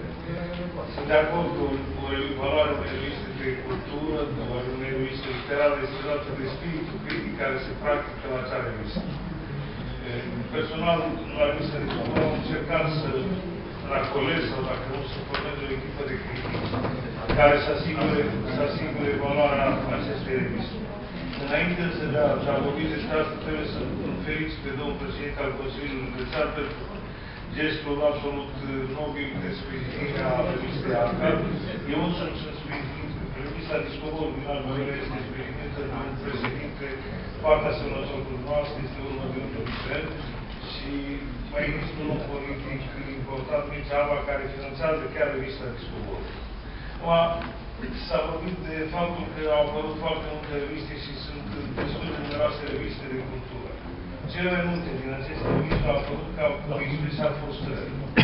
Cele multe dintre scriitorii care au făcut aceste reviste înainte de 1989 erau ignorați, erau dați la o parte, nu erau pur și simplu publicați exista un fel de, de nu feudare, un fel de feudalizare a vieții, vieții culturale, vieții literare înainte de 1989 și așa se explică faptul că scriitori importanți astăzi, după 24 ani de la Revoluție, scriitori importanți astăzi uh, pot apărea ca niște surprize, pentru că oamenii aceștia scriau și înainte de 1989 și erau pur și simplu ignorați. Problema, o altă problemă pe care vreau să, să o pun, să o discut, este faptul că în, în acești ultimi 24 de ani, raportul capital în provincie s-a schimbat, a, a suportat metamorfoze foarte serioase. Dacă înainte de 1989 cele mai importante, eh, cele mai importante reviste sau ecoli veneau din București, pentru că apăreau două reviste importante, trei, Viața Dumneavoastră, Ceapul, dar mai ales România Literară, eh, sau, deci dacă veneau ecouri din, din București, iar provincia era un fel de, era receptată ca un fel de second, second hand al, al uh, valorii literare. De data aceasta, în ultimii 24 de ani, la revistele nou apărute, uh, în Transilvania, cu deosebire, dar nu numai în Transilvania, uh, există un stil critic foarte, foarte avansat și bănesc că veți fi de acord în sensul acesta, dacă înainte de 1989 autoritatea critică funcționa, funcționa doar în București și totul venea de la București, de data aceasta, în acești ani, autoritatea critică nu, nu s-a comunicat, s-a redistribuit, afirmându-se în acest, în această perioadă critică de personalitate, care au reușit să schimbe și ideea, conceptul de autoritate critică. Ori autoritatea critică nu mai se, nu, nu, nu mai este recunoscibilă doar în capitală, este recunoscibilă practic în toate zonele culturale, în toate zonele unde apare o revistă literară importantă. Repet, și cu asta închei, spiritul critic este cel mai important element al unei reviste de cultură. Un prieten al meu, regretat proiect Augustin Pop, după ce am întâlnit alături de Cornel Nisa și astăzi la scriitor și la revista de cultură, mi-a spus că m-am întrebat câtă vreme e nevoie pentru a lansa, pentru a asigura viitorul unei, pentru a asigura prestigiul unei reviste de cultură, și el mi-a spus 5 ani. Revista noastră va fi 25 ani și încă nu are prestigiul pe care, pe care contam și pe care nu contăm în continuare. Dar atâta timp cât, cât oameni care se născut ca Alexandru Chisterican, de exemplu, care este aici de față, acceptă să publice revista Discobol, înseamnă că înseamnă un lucru foarte important, înseamnă faptul că revista își învinge mers obsesia de a nu fi provincială. Da, mulțumesc, domnule Bandea. Am spus că facem pauză, dar Casean Maria Smie nu trebuie să plece care fel și îi dăm cuvântul, după care facem pauză de 15 minute. Da, mulțumesc foarte mult, doamna Măriță. Aș vrea de Vreți să nu pierzi trenul. Da, sigur. După ce prietenul Lucian a făcut o introducere conform Jălimei Udane, aș vrea să trecem și cei noi așa de Moldova și de Uh, cred că educația rămâne mereu mare, mare hiba noastră și am o mică poveste cu un tânăr care mi-a trimis niște materiale la vorbim, prin e-mail, așa e moda, am rugat să vin la redacție, am venit la redacție, am consultat că eu de fapt era din București, eu fiind în Iași, l-am întâlnit și eu spun că ești în București, am crezut că ești în Iași, mă rog. El terminase liceu, intrase la facultate și uh, mi-a povestit o, o chestiune care m-a îngrijit. Faptul că profesoara lui de română uh, i-a predat povărirea tolerante din așteptat și uh, el i-a, le-a explicat copilul că revizia povărirea nu mai apare, nu mai există, ea, la, după, după ce a fost adusă la București, a dispărut după 80, 1880. Și, și da, domnul, dar eu iau de la chioșc, este Asta, asta spune foarte mult de, despre nivelul uh, celor care predau în învățământ. Dar mă duceam la, la faptul că o revistă cu economie care a apărut acum aproape 100 de 50 de ani în 300 de exemplare. A apărut în 300 de exemplare până când s-a terminat domnia lui Negruțe la economie care a, a ajuns la tirajul extraordinar de 800 de exemplare și a reușit să dea direcția în cultura națională. Uh, cred că Problema este alta. Perioada dinainte de 89, în orice bibliotecă de România, că se ai România Literară, că se ai Convorbiri, că se ai Secolul 20, toate revistele importante erau uh, prezente pe masă la biblioteca comunală sau județeană, nu contează. Sunt peste 3.000 de biblioteci. Eu spun că dacă măcar 1.000 de biblioteci astea s-ar abona la revistele noastre, noi am fi într-o situație destul de uh, optimistă. Da. Pe când așa, bă, bă, din păcate, nu știu dacă sunt uh, 50 de uh, biblioteci mari care se abonează. Nu. Uh, nu sunt pentru mai. Și uh, vă, vă, vă povestesc o întâmplare absolut stranie. Uh, Ministerul Culturii mi-a comunicat că vrea să aboneze la uh, Comurii Literare, vrea, vrea 80 de exemplare, asta în noiembrie. Cine era mazochistul de ministru? Dar stați că povestea e stranie, nu? Și zice, nu, dar trebuie să vei să negociem. Dar nu și să negociem. Îți spuneți că da, și eu vă dau la altfel, dar zic, pentru anul vă referiți. Nu, nu, pentru anul ăsta. Nu, de sunteți nebuni, revista apare ianuarie, februarie și dumneavoastră noi trebuie să vă dau o revistă de ianuarie, nu să vă dau. Deci, situația este una tristă pentru, pentru noi. Dacă nu va ieși legea privind uh, subvenționarea, susținerea reviselor prin lege bugetară, așa cum este susținut Teatrul Național, sau, pentru că este o instituție de același nivel cu Teatrul Național, cu uh, opera și așa mai departe. Deci așa trebuie să susținut o revisă prin România Literară sau România Literară, care de cele care contează cu treaba asta.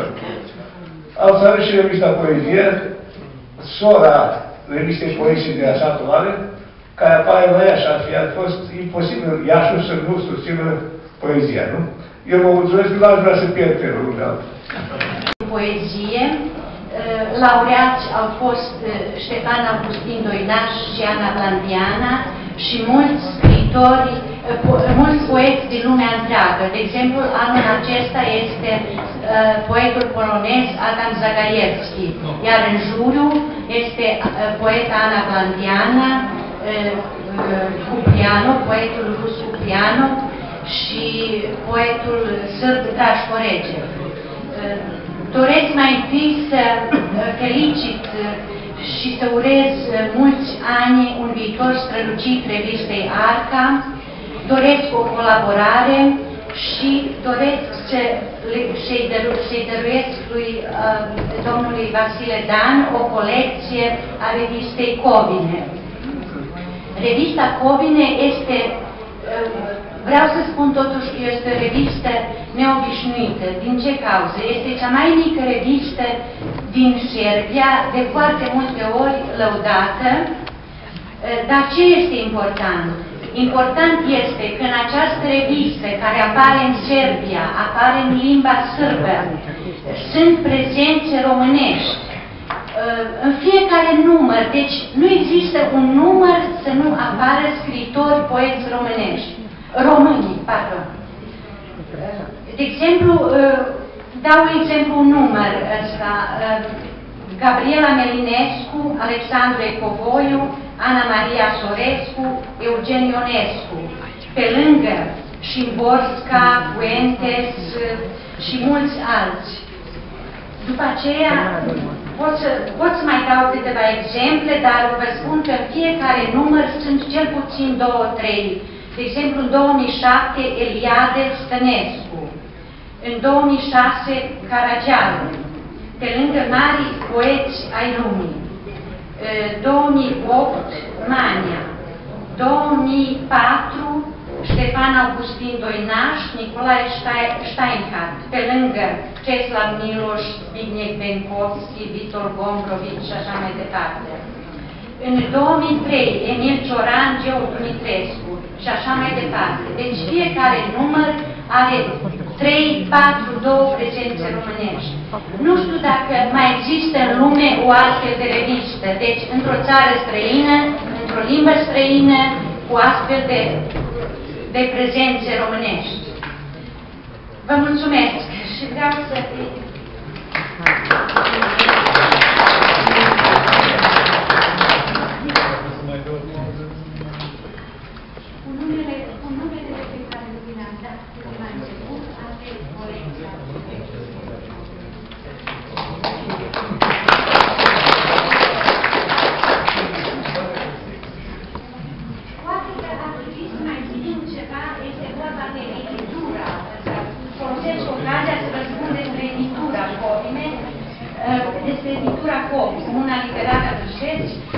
a publicat foarte mulți uh, scritori români.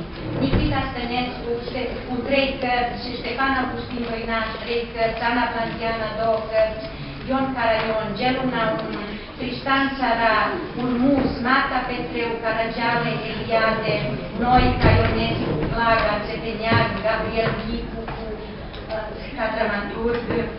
Și ceea ce ne bucură foarte mult este și uh, compune accentul și vă da prioritate colaborării între, uh, stare, între, redact, între editura noastră și edituri din fosta Iugoslavie, uh, care, de exemplu, ăsta, Urmus, acest Urmus a apărut preluat de la COP, unde a apărut la COP, a fost preluat de la COP și a apărut în, în Croația, deci transpus în dialectul croat, ceea ce ne bucură foarte mult să colaborăm cu alte edituri și să le preia, să preia traducerile lui Petru Cărtu. Mulțumesc încă o dată. Mulțumim, doamne Cârtu, Robert Sărban. Tot de la Brașov. Mulțumesc, domnule Emanuescu, pentru dat cuvântul. Câteva lucruri vreau să spun întorcându-mă cumva la tema propusă astăzi, revistele culturale literare în control. Și am adresat ideea domnului Prelipceanu vis-a-vis de acel american care era în pragul falimentului și care ar trebui să se rebrânduiască puțin și a scăpat. Cred că nu face bine nimănui dintre cei care suntem astăzi aici să ne autocontemplăm admirativ și să nu gândim că o revistă literară e un, devine un produs cultural mai complex, mult mai complex decât a fost în urmă cu 10-20 de ani. Faptul că o bună parte dintre revistele literare uh, au pagină de internet, se pot citi pe internet, au site-uri, e un lucru absolut extraordinar și dacă stăm pe loc și nu ne dăm seama că lumea de lângă noi se schimbă și că ne considerăm instituții culturale spre care trebuie să vină lumea, nu noi să venim spre ei, o să avem doar de pierdut. Pentru că e evident, cei care aveți și aveți majoritatea de dumneavoastră contact cu lumea tânără, vedeți că sunt oameni care nu mai folosesc suportul scris decât foarte, foarte puțin. Există școli, Aradu are una dintre aceste școli, unde școala se face pe tablete pur și simplu se face pe tabletă și în Timișoara s-a întâmplat și lucrurile astea. Oamenii nu mai citesc, oamenii tineri citesc tot mai puțin, puțină hârtie. Prin urmare, e foarte simplu ca acest produs cultural să aibă o secțiune video, o secțiune audio. E foarte simplu ca în care să fie scriitor ce citesc, ce povestesc viața, pentru că eu cred că un tip de autobiografie și fac emisiune de televiziune și știu lucrurile astea. Un tip de autobiografie, un tip de intimitate până la un punct revărsată în afară, face bine celui care privește pentru că îi stârnește curiozitatea. Emisiunile de televiziune au acest rol. Mi-e greu să cred că poți să faci educație prin televiziune. Dar interesul poți să-l stârnești celui care se uită la televizor și poate deveni captivul acelei emisiuni. Prin urmare, încotro, cred că e imposibil de evitat lumea care vine spre noi. Dacă stăm pe loc și credem că nu trebuie să folosim cârlice de abordare a potențialilor cititori, a potențialilor consumatori de cultură, ne înșelăm și o să avem de pierdut. Prin urmare, cred că un melanj între ceea ce înseamnă astăzi uh, revista culturală și ceea ce înseamnă, să spunem, site-urile de cultură, extrem de dinamice, extrem de ofertante vizual, uh, lumea s-a mutat pe internet, asta e, uh, din păcate sau din fericire, situația. Dacă stăm și așteptăm să fim citiți, să se facă abonamente, cred că o să greșim și o să fim depășiți de oameni mult mai dinamici, de oameni uh, care în Occident deja au înțeles despre ce e vorba și au transferat o bună parte din ceea ce însemna uh, conținut și în zona, în zona virtualului. Cred că acolo ne îndreptăm și ar trebui să fim atenți. Foarte simplu de făcut, nu trebuie fonduri foarte multe, pentru că lumea literară e foarte prietenă cu lumea vizuală. Cel puțin în Timișoara, toți cei care suntem în zona literaturii, avem o mulțime de artiști vizuali care ne sunt prieteni și care, pro bono, ar face oricând ceva pentru noi, care să ne prindă bine și unii și, și unul și altora. Plus de asta, OAP-ul și USR-ul cred că pot să gândească o zonă de contact, de simbioză, în sensul celor care care le-am spus aici. E important să ne mutăm și spre, și spre zona virtuală, pentru că vine publicul dinspre zona asta. Mulțumesc și uh, vorbeați de Pavel Gătean. El a făcut așa ceva. Revista Europa e o revistă care se vinde împreună sau care are la sfârșitul său pe coperta a patra un CD extrem, extrem de atractiv în care găsești atât conținutul revistei, dar multe alte produse culturale, cum ar fi filme despre scriitori, videouri despre scriitori și o seamă de invenții ale secolului 21. Mulțumesc mult! Mai venit și mie să zic din politețe, mulțumesc, dar n-am de ce să mulțumesc că faceți o confuzie enormă, iartă-mă. Ce are uh, internetul cu vizual? Se citește alt suport, dar nu e vizual. Și asta e vizual. Ce e vizual? Adică să băgăm neapărat filme... Virtual, spuneam, dar mă gândeam la mediul virtual. Virtual, da, virtual. Asta una la mână. Și al doilea, nu e. Încă o dată, eu îți urez drum bun spre internet. Dar să nu fii pe la mine să-mi spui de ce nu sunt în istoria literaturii române. Eu, ca să fac o selecție, trebuie să am un chestie. Să fac, și nu spun că sunt situri culturale extrem de interesante. Știi vreunul, cu adevărat, extrem de interesant? Dă niște nume. Vorbeați despre, în primul rând, despre zona occidentală, unde există... Încă o dată, iartă-mă, sunt de 8 ani în Franța. Toată presa, și națională, și centrală, și de nișă, este pe hârtie. Dar nu au și suport electronic? Numai unele cărți, revistele nu. Unele cărți. Revistele sunt pe internet, ziarele. Eu citesc ziarele să înțelegi pe internet. E cu totul altceva. Totul altceva. Pentru că și România literară este pe internet. Exact despre asta vorbeam. Sunt oameni Da. Pus așa. Ce să spun? Oricum, nu, nu n-au, din fericire, postul electronic ne face să revenim la... Nu merge microfonul. Ne face să revenim la scris portul electronic. Chiar dacă scrisul este ca în Franța, fără setile și fără nimic de și fără accente de nu știi despre ce e vorba, noi din fericire nu avem atât de multe sedile și accente, iar cu sine descurcăm în loc de și, că zicem cum e să Da, la franceză e mai complicat un pic, da. Uh, bun, uh, nu, nu, nu știu, pentru mine zona asta este extrem de periculoasă. Am spus că este inevitabilă, din păcate, dar la urma urmelor, cum să spun eu, nici așa să spunem, inevitabilă, noi suntem cu mine încrucișate și ne ducem toți pe, pe, pe, pe chestia asta. Nu știu, eu cred că ar trebui să avem, dacă tot vorbeam, Buturescu de orgoliu, dar să avem orgoliul nostru de, de scriitor. Nu avem ce să căutăm în această zonă confuză și nu avem ce să căutăm acolo. Ne descalificăm. Înseamnă că nu am făcut între zona România Literară are un site extrem de bun. Sau un site, un site bun, se poate citi. Eu din perspectiva asta vreau, acolo se pot face mult mai multe lucruri decât a transfera revista de pe suportul de hârtie și a transfera-o doar pe un suport electronic. Se pot face produse culturale care să țină de România literară, de orizont, de ramuri, de, de ce vreți, care să facă din produsul cultural, ramul România literară sau orice altă revistă, o chestie mult mai tentantă și pentru un mediu poate nu atât de obișnuit cu literatura. Poate că îi place să vadă moapa scriitor în timp ce citește să audă un să audă pur și simplu, într-un context care s-ar putea să fie un mic videoclip. Despre asta, spun, despre asta vorbeam. N-ai auzit ce a spus Gârijoan, că cât ne uităm la scriitori, mai bine le citim cărțile. Ceea ce e mai, e mai, e mai simplu să mă utopii, citesc cărțile, dar e totul altceva. Bun, uh, vă rog. Da, domnul Gătean. Deci, pentru că am fost și amintit în sens pozitiv, n-are importanță, totuși am vrut să iau cuvântul să spun câteva idei, păreri, observații și e bine că eu sunt din afara, zice, României și să vedeți cum vede lucrurile. Deci, pe nu vorbea Lucian Vasiliu, credeam că asist la o plenară a CC-ului legată de cultură. Oameni care provin de vechiul sistem, care gândesc cum gândesc, eu îmi pare rău, dar așa am văzut lucrurile. Aseară la cină eram acolo 30 de bărbați, parcă eram o sectă religioasă, de nu eram călărițele, credeam pe gânduri ce se întâmplă de fapt. De ce nu există nicio relație cu femeie? Care e problema? Bine, să lăsăm glumă. Dar acum să o luăm mai serios. Deci, revista Europa a început să apară ca revistă de știință și cultură în tranziție. eh, la Novi Sad, datorită lui ONG pe care îl conduc și ideea a fost următoare, ca să nu stăm ca românii să părfim prin uh, bufete, nu știu ce, la băuturi, la să vedem pe gagici, hai să facem ceva ce, ce va rămâne.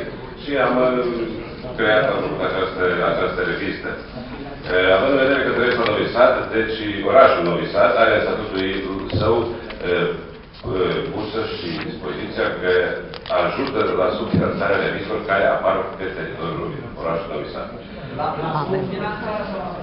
Nu, la subfinanțare.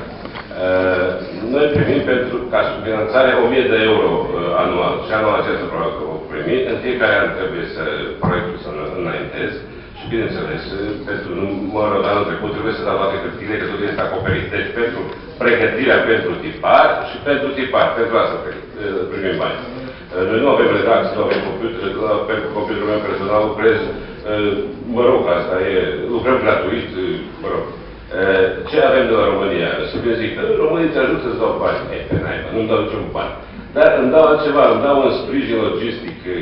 Eu găsesc colaboratori care fac o lectură bună, care, deci fiecare text care apare în Europa este lectorizat, pentru că nu este vorba numai de text în limba română, ci și despre texte de uh, limbii europene. Deci, uh, noi suntem înregistrați la bază de date internaționale, la CEO în Germania, uh, Copernicus în uh, Polonia și EBSCO în USA. Cu americani și cu nemți avem contract și ei financiar ne dau bani când ne se vând textele noastre. Deci, pe anul trecut, noi am câștigat o sumă mică, dar oricum, 100 de euro textele noastre care s-au vândut, deci care au fost accesate, o parte din bani i-au oprit nemții și o parte ne-a dat nouă. Deci, revista Europa este pusă pe piață, dar nu pe piață numai de a se vânde, ci și internațional de a vedea unde suntem noi la, la, la, ora, la ora actuală. Provincia Autonomă Vojvodina, unde trăim, e sediul capital la Novi Sad, ei ne mai dau uh, anual 1000 de euro, deci probabil le face revista și atunci uh, 1000 primim de la unii și de la alții, iarăși pentru tipar și pentru pregătire. Pentru că nu ne dă, am concurat și la Ministerul Culturii, nu, imediat iau documente și trimit în Novi Sad. Ce vreau să spun? Serbia are o politică culturală în sensul de a sprijini revistele naționale, de importanță națională, ce au vorbit noi aici. Așa trebuie și Bucureștiul să aibă și noi aici, despre care vorbim Chipu și ceilalți care au amintit, trebuie să, să fie nicio problemă. Deci, cel minim trebuie să plătească pregătirea pentru tipar și uh, tiparul București, iar de, de, de, de, de teritoriu să dea bani pentru. Eu așa văd deocamdată o, o soluție, dar nu se poate ca în România să depinde doar numai de primării și de consilii locale, pentru că, oricum, s-a vorbit aici din România, țin la o integritate și la o Uniune Națională Culturală a României. Aici, Aradul Cultural, astăzi este Centrul Cultural al României și eu sunt bucuros că m-am întâlnit cu colegii mei din întreaga țară și asta trebuie menținut ca un factor pozitiv de a păstrarea românismului. Da. Și noi mă miră faptul că legea acum s-a dus și nu știu. Apropo de bani, am accesat și la un concurs la România de Pretutindeni, nu este cu doi ani și mi s-a dat un răspuns cu mulțumiri, cu că revista e bună și că nu, nu mi-au dat nici un ban. Așa că noi nu mai contactez. Sunt foarte neserioși pe mine. Spune Tomas când am vorbit și când am mers, te-am dus în Moldova, în Chișinău, nu știu ce, zice, plătim drumul, trenul, nimic. Eu știu că vine România, trebuie să am aici bani de tot de rezervă. Dacă îmi dă ceva bine, dacă nu, iar Și eu asta fac pentru că asta e mea, asta e un hobby, hobby a mea. Cum fac? A, ce asta, de câini, de porumbei, de nu știu ce. Bine, acum în public spunem că da. da, da, da, așa a fost, da. Da, dar nu pot să ajung la Chișinău, mă duc Cimișoara, București și să mi se promite de la organele legale. Nu, că pe drumul și faci tot să sub cu spate. Ai o, o neseriositate și un non-profesionalism care bântuie România. Și eu fac parte nația rom română și trebuie să spun că românii trebuie să facă mai serios. Am realitatea de văd, văd acolo ce se întâmplă, văd de capul meu. Ce, ce, ce, la ce nivel intelectual ajung și, și a, nu, nu știu cum duce asta. Nu discutăm despre învățământ acum, că e iluzorul și o altă temă și mă rog, dar oricum, salut încă o dată prezența tuturor oamenilor de cultură aici, ai revistă culturale, felicit pe Vasile Dat care o colaborare bună și mi-a dat un exemplu cum poate într-o într-un oraș în ghilimele de provincie, ca să se provin, capitala este Aradul, deci Banatul, tot Banatul e provincia. E, acum să arătat cum poate Banatul să fie provincia. La Arad și nu la Cibișoara sau... Mă rog, da, exact. Da, exact. Și că o astfel de practică trebuie continuată. Poate nu știu spun fac lucruri, dar nu are importanță, astea sunt cele mai importante. Să spun site-ul nostru, dacă doriți să accesați, Europa NGO sau NGO, Europa NGO.com la Croația, țăra. Deci Europa NGO.com. Și acum puteți vedea, în limba engleză, veți vedea tot, toate e, numerele, dar cuprinsul, pentru că noi suntem la, accesați la bazele internaționale. Să vă mai luat că mi-a apărut un text în Georgia, filozofia tragică al lui de ani, este o revistă din Georgia, din Tbilisi, și o lucrare despre uh, Statele Unite ale Americii, poezia lui Pavel Tăian, scris de o, scrisă de o poloneză care studiază în Germania, nu publicată în revista Europa. Fiind uh, parte din uh, filiala Rada Unii Scritori de România, deci trebuie să știți ceea ce se întâmplă și cu activitatea. Vă mulțumesc! Da? Poate mai dați o dată site-ul, că n-am fost Deci Europa... Tu mai vorbea. Nu da. te lăsa. Exact aici un climat literar. Este un fenomen. Uh, Vasile, te rog să mă scuzi că spun eu lucrurile astea, că cred că erau concluziile tale. Aici s-a creat o solidaritate frumoasă, iar între oamenii care au întemeiat această uh, relație înaltă, a fost, au fost Florin Bănescu, uh, Andrei Ștefanco. Evident, uh, revista AFGA a protejat această istorie frumoasă a literaturii. Da, mulțumesc. Uh, Altcineva? Da, Leo Butanu. Felicitări revistii ARCA, că a ajuns la un sfert de, de veac de existență. Precum arată și precum se văd perspectivele va apare în continuare și într-o confrerie, într-o unetate mulțumim și autorităților care înțeleg scriitorul român de oriunde, susținându-l, pentru că aceasta nu este o revistă a Aradului, este o revistă în care au apărut cu toții de diferite zone ale culturii românești. De unde venim eu și Barcate Suceveanu? Venim din Transnistria? Nu, e o glumă proastă.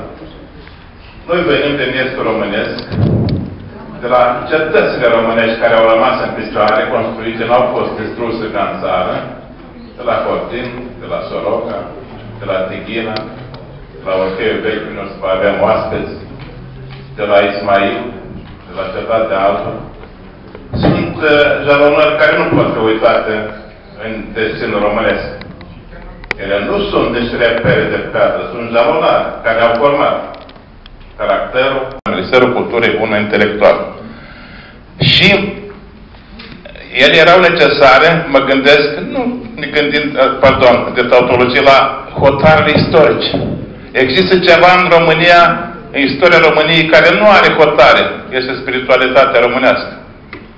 Noi aici trebuie să ne manifestăm, să luptăm, să combatem, unde nu sunt hotare, unde ne putem uni. Și suntem, nu suntem patrioți, dar implicit suntem cetățenii acestei istorii, acestei culturi.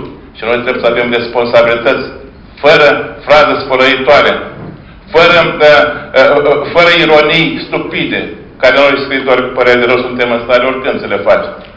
Și în acest context, mă bucur că uh, țineți minte aceste reviste, care sper să reapară, pentru că ele nu erau ale scriitorilor din, din estul uh, Moldovei, ci erau ale tuturor domnilor voastre. Cei mai valoroși scriitori români de pretutindeni se publica și la contrafort, erau recensați, poate cel mai activ ele prezentau și fenomenul uh, editării de carte în întreg spațiul românesc. Pentru că colegii noștri, Vasile Cântesc, directorul și redactorul șef um, Vitalie Ciobanu sunt niște adevărați uh, intelectuali români, adevărați patrioți și uh, personalități ale culturii, care poate în detrimentul propriului scris și-au pus, um, și-au luat misiunea de a promova întreaga uh, uh, românitate fără frontiere. Iată aceasta a fost. Noi sperăm să revenim la o normalitate. Și mă gândeam că e bine ce trebuie ca orice revistă de valoare din România să fie sponsorizată. Și grație eforturilor Uniunii Scriitorilor de România, câțiva ani la rând ele au și fost sponsorizate. Sunt vede o perspectivă. Și mă gândeam că în acest context intrau și cele trei reviste din Chișinău și Părți. Nu obligatoriu să meargă pe linia de unde primesc finanțare celelalte, dar Institutul Cultural Român are o misiune în acest sens. Cu părere de rău s-a întâmplat ce s-a întâmplat. Acum să revenim la atât de discutatul spațiu virtual și cel material. Să știți că, cel puțin eu, primesc câteva reviste din țară. Vă mulțumesc că mi le executează. Dar majoritatea le citesc totuși pe internet. Sunt în spațiul ăla. Îmi place, nu-mi place. Pe acolo uneori mai sunt și mai, mai, mai, mai comod pentru că îmi pun um, mărimea de litere care îmi permite uh, să, să nu simt că mi sunt ochii obosiți și poate și, uh, și, și dispoziția mei uh, proastă. Um, și uh, eu pusez la valoarea revistelor pe care le editați și cei care vă accesează. Multe din revistele pe care le editați au mulți oameni care accesează. Poate unii tineri nu au sumele, nu sunt deja modice ca să aboneze aceste uh, reviste, dar ei vă citesc. În spațiu virtual uh, au apărut uh, foarte, uh, adică nu foarte mulți, zice mulți propagatori a culturii adevărate, adică găsesc niște, niște uh, biblioteci de poezie autentice, pe lângă multe hărăciugă, evident, pe lângă multe lucruri care sunt îndoielnice, dar asta e democrația. Noi trebuie să ne obișnuim. Noi nu vom dicta niciodată regulile în democrație. Ea e în stare permanentă de formatare, de reformulare, de, de, de, de difuzare. Și eu cred, dacă statul știe că orchestra sinfonică sau teatrul liric de operă și balet nu aduce venit țării și nu va aduce niciodată în mare, el este, aceste teatre sunt necesare pentru destinele unei națiuni pentru nobleța ei în istorie. Și cred constat, chiar când sunt puțini cititori, se spune, va fi că literatura este o simfonie și intră în simfonia, în cultura mare unei națiuni, fără de care nu poate exista acest stat, fără de care el va, va cădea sub incidența, incidența oprobiului internațional. Eu nu cred că literatura română va muri. Eu nu cred că eforturile domniilor voastre vor rămâne zadarnice pentru că această ștafetă să transmit. Deci te reviste încă o dată și mulțumim pentru această înmânare de ștafetă, ne gândim virtual. Sănătate! Da, mulțumesc, Botnaru. Înainte de a da cuvântul lui Ion Moldovan, dați-mi voie să spun apropo de reviste. Situația mai complicată cu revistele voastre de acolo și ar trebui să luați voi taurul de coarne. Și anume, ICR-ul a finanțat în decursul timpului și prin Uniunea Scriitorilor la un moment dat, că nu avea voie să trimite direct ca instituții de stat revistele, că le opreau la graniță. Mai multe reviste de acolo. Acum, de fapt, câte reviste bune aveți? Spunem și mie cinstit. Două? Câte nu avem deja. Stai, la, pe nu. Printre aceste reviste, mai le-am le-au trecut banii pe la mine, le-am văzut. Printre aceste reviste sunt unele care nu merită nicio finanțare. Deci voi trebuie să vă apărați, să vorbiți cu academicianul Matei, directorul Institutului de la Chișinău, și să-i spunem, nu mai aruncca banii în toate părțile și toate colțurile. Dă-le revistelor bune, pe care le știți foarte bine. Domnul președinte, eu m-am referit la trei nume de reviste. Celelalte nu mă interesează. Nu, nu, dar pentru asta trebuie să vă luptați cu Matei, nu, nu e institutul de vine, ICR-ul de la București. De ce să lupt eu cu Matei? Pentru că eu, eu pot face ceva pentru cultura românească fără să mă lupt cu Matei. Atunci nu te lupta cu Matei, finanțarea va veni, pe va căpăta contrafort aceeași sumă ca florile d'albe, sau nu știu cum se cheamă aia de pe la...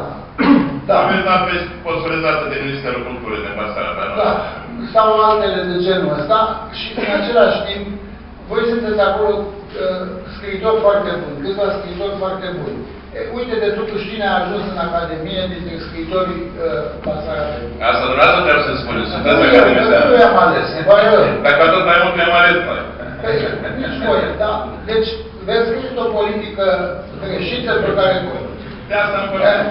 despre și de la Cernăuț și de peste tot, ce să mai vorbim? Păi asta e, dar, încă o dată, păi, luați-ne de pe materie. Domnul președinte, el a nimerit acolo grație susținere unui membru important din conducerea Uniunii Scriitoră de România, așa că să luați să ia el. Din conducerea actuală? Da. Nici O să vă voi. spun, o să vă spun. L-a numit Marga, dacă e până. Nu, nu, nu, nu. O să vă Și spun. Marga l-a numit, unul. Simion a lucrat, evident, în Academie. Iar pe el a numit Marga atunci. Din conducerea Uniunii, cine? Dar, dar de ce nu Pe- Dacă vă dați pe după prop așa, păi se va apără noi. Mai Barujan, poate că lipsește de aici. Acum vorbim de... Vorbim de conducerea Uniunii Scripturilor, nu de Barujan. Da, nu știu, cine din Marga? Da, bun.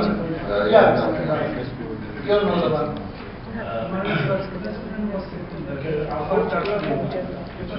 Doar niște precizări tehnice. Uh, Când am, am venit la Institutul Cultural în ianuarie, mi se pare 2005, uh, erau uh, sponsorizate trei reviste de cultură și erau alte câteva, un număr imprecis, tot două sau trei, care erau de istorie, de știință și așa mai departe.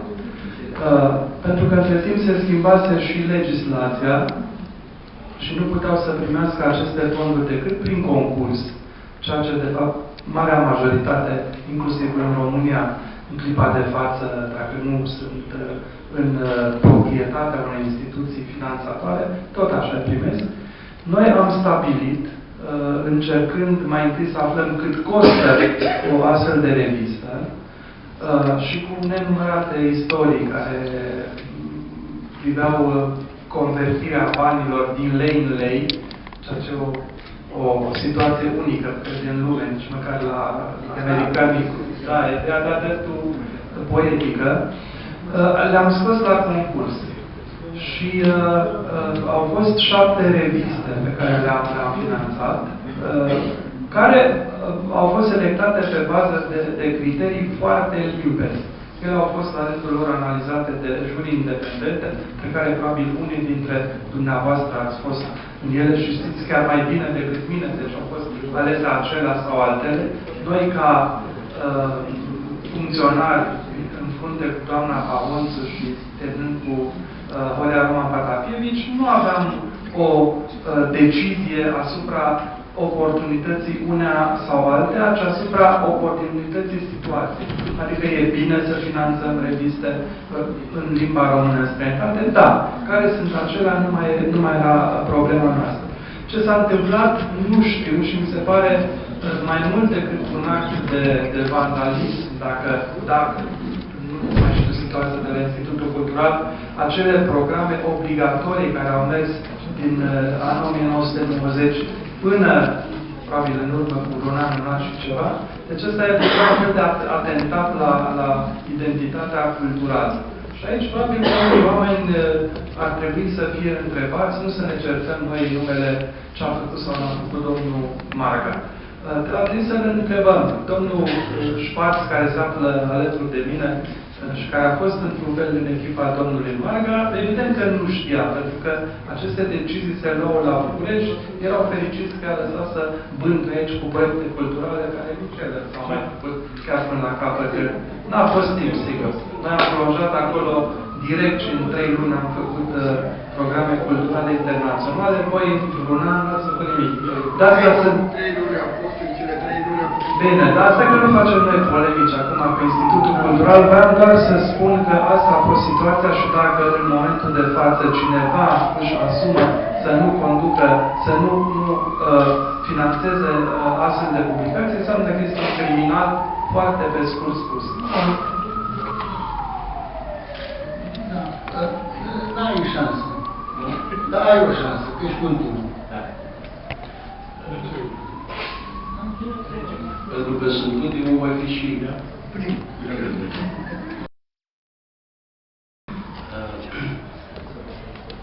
Faptul că astăzi la Arab a avut loc o astfel de întâlnire este cu totul salutar, pentru că a oferit un cadru în care să se discute o problemă foarte importantă privind cultura română. Ultimele uh, luări de cuvânt au mutat accentul de pe revista de cultură ca instituție pe alt tip de uh, instituție culturală, nu este atât de uh, grav și aberant, pentru că tot în acest centru rămâne.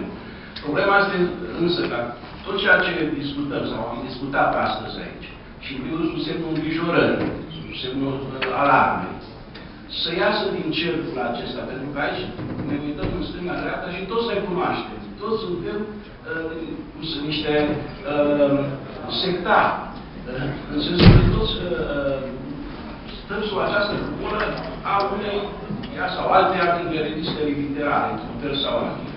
Știm foarte bine uh, greutățile uh, și uh, pericolele cu care se confruntă revistele literare, fie cele de nou, fie cele recente, să zic. Uh, dar important este ca uh, cei care uh, au dețin funcții de conducere să facă într-un fel, în așa fel încât aceste discuții, câteva din ideile care s-au spus aici, să ajungă la cei care decid. Sigur, forma legii pe care o așteptăm cu toții, ca pe o mântuire și va fi un fel de mântuire, dacă, dacă reușim, este o dătătoare de optimism. Dar până atunci tot ne tremură sufletul și bugetul din perspectiva revistei literare la care lucrăm. S-ar zice că revista Familia, care anul viitor va împlini nu 25 de ani, ci 150 de ani, nu are probleme în acest sens. E adevărat, dată fiind această tradiție și această istorie și mitologie, până la urmă, este familia, ea are un statut mai, să zic, mai aparte în rândul revistelor, este sprijinită, este considerată instituție a Consiliului Județean, este finanțată, dar aici intervine, intervine regulă și în cazul altor reviste de acest tip, primește imixtiunii politice revistele de acest tip sunt, uh, nu mai sunt conduse de un redactor șef, ci de un director care este și manager. Ori aici, uh, problema care intervine este manager la o revistă de cultură poate fi oricine care are calități manageriale, nu trebuie să fie scriitor, să fie literar. Și se întâmplă cum s-a întâmplat uh, și, se, și cred că se va mai întâmpla, să vină un director și atunci toată, să zic, munca se duce pe râpă. Pentru că cel care vine și vrea să-și pună, uh, să zic, oameni, disciplină, vezi cazul tribuna de pildă. Falsa disciplină, nu? Au obligat să stea de la 8 până la 17. Au obligat să iasă în, să iasă din redacție doar cu bilet de voi. Și e, e aperat. Ei o primește. Nu e și cazul de Disney Familia, care, vă spun, are un, un destinatar. Așadar, soluția, soluțiile locale funcționează, dar și acestea sunt cu primești. Soluția aceasta a legii este de asemenea convingătoare și uh, vorbea domnul Pavel Gabeanu de soluția ONG-urilor, uh, care de asemenea este destul de poetică, zice eu așa, și Așadar, noi vă rugăm, domnule președinte, să, să extragem din întâlnirea aceasta un set de probleme și să le comunicăm primului ministru, eventual, sau ministrul culturii măcar. Ca să știi că la primul coloquiu național al revistelor de cultură nu există doar așa o îngrijorare și o emotivitate, să zic, de oameni interesați, și una rea. Așa, și eu vreau să închei cu ceea ce de fapt vreau să încep. Vreau să uh, îl îmbrățișez pe Vasile Dan, uh, și uh, împreună cu el arca lui, echipajul lui, este, uh, este o sărbătoare până la urmă și cu acest sentiment sărbătoresc trebuie să rămânem uh, în suflet, uh, că este o dovadă că, iată, acolo unde sunt uh, conducători pricepuți, diplomați, bătăioși, uh, străbătători la o revistă de cultură, unde sunt și autorități sensibile la, la faptul de cultură autentic, uh, lucrurile sunt uh, îmbucurătoare, cum este și împlinirea acestei vârste de 25 de ani. Și să vă invit de pe acum la 150 de ani, la Oradea, în revista Familia, vă, vă așteaptă și cred că inclusiv Academia va avea ceva de uh, spus, nu cred. La Academie sunt unii din primii colaboratori al Iosif Vulcan. Și el a fost și Academia. Uh, vă mulțumesc și încă o dată, Vasile Dan și Arca, felicitări și mulțumim.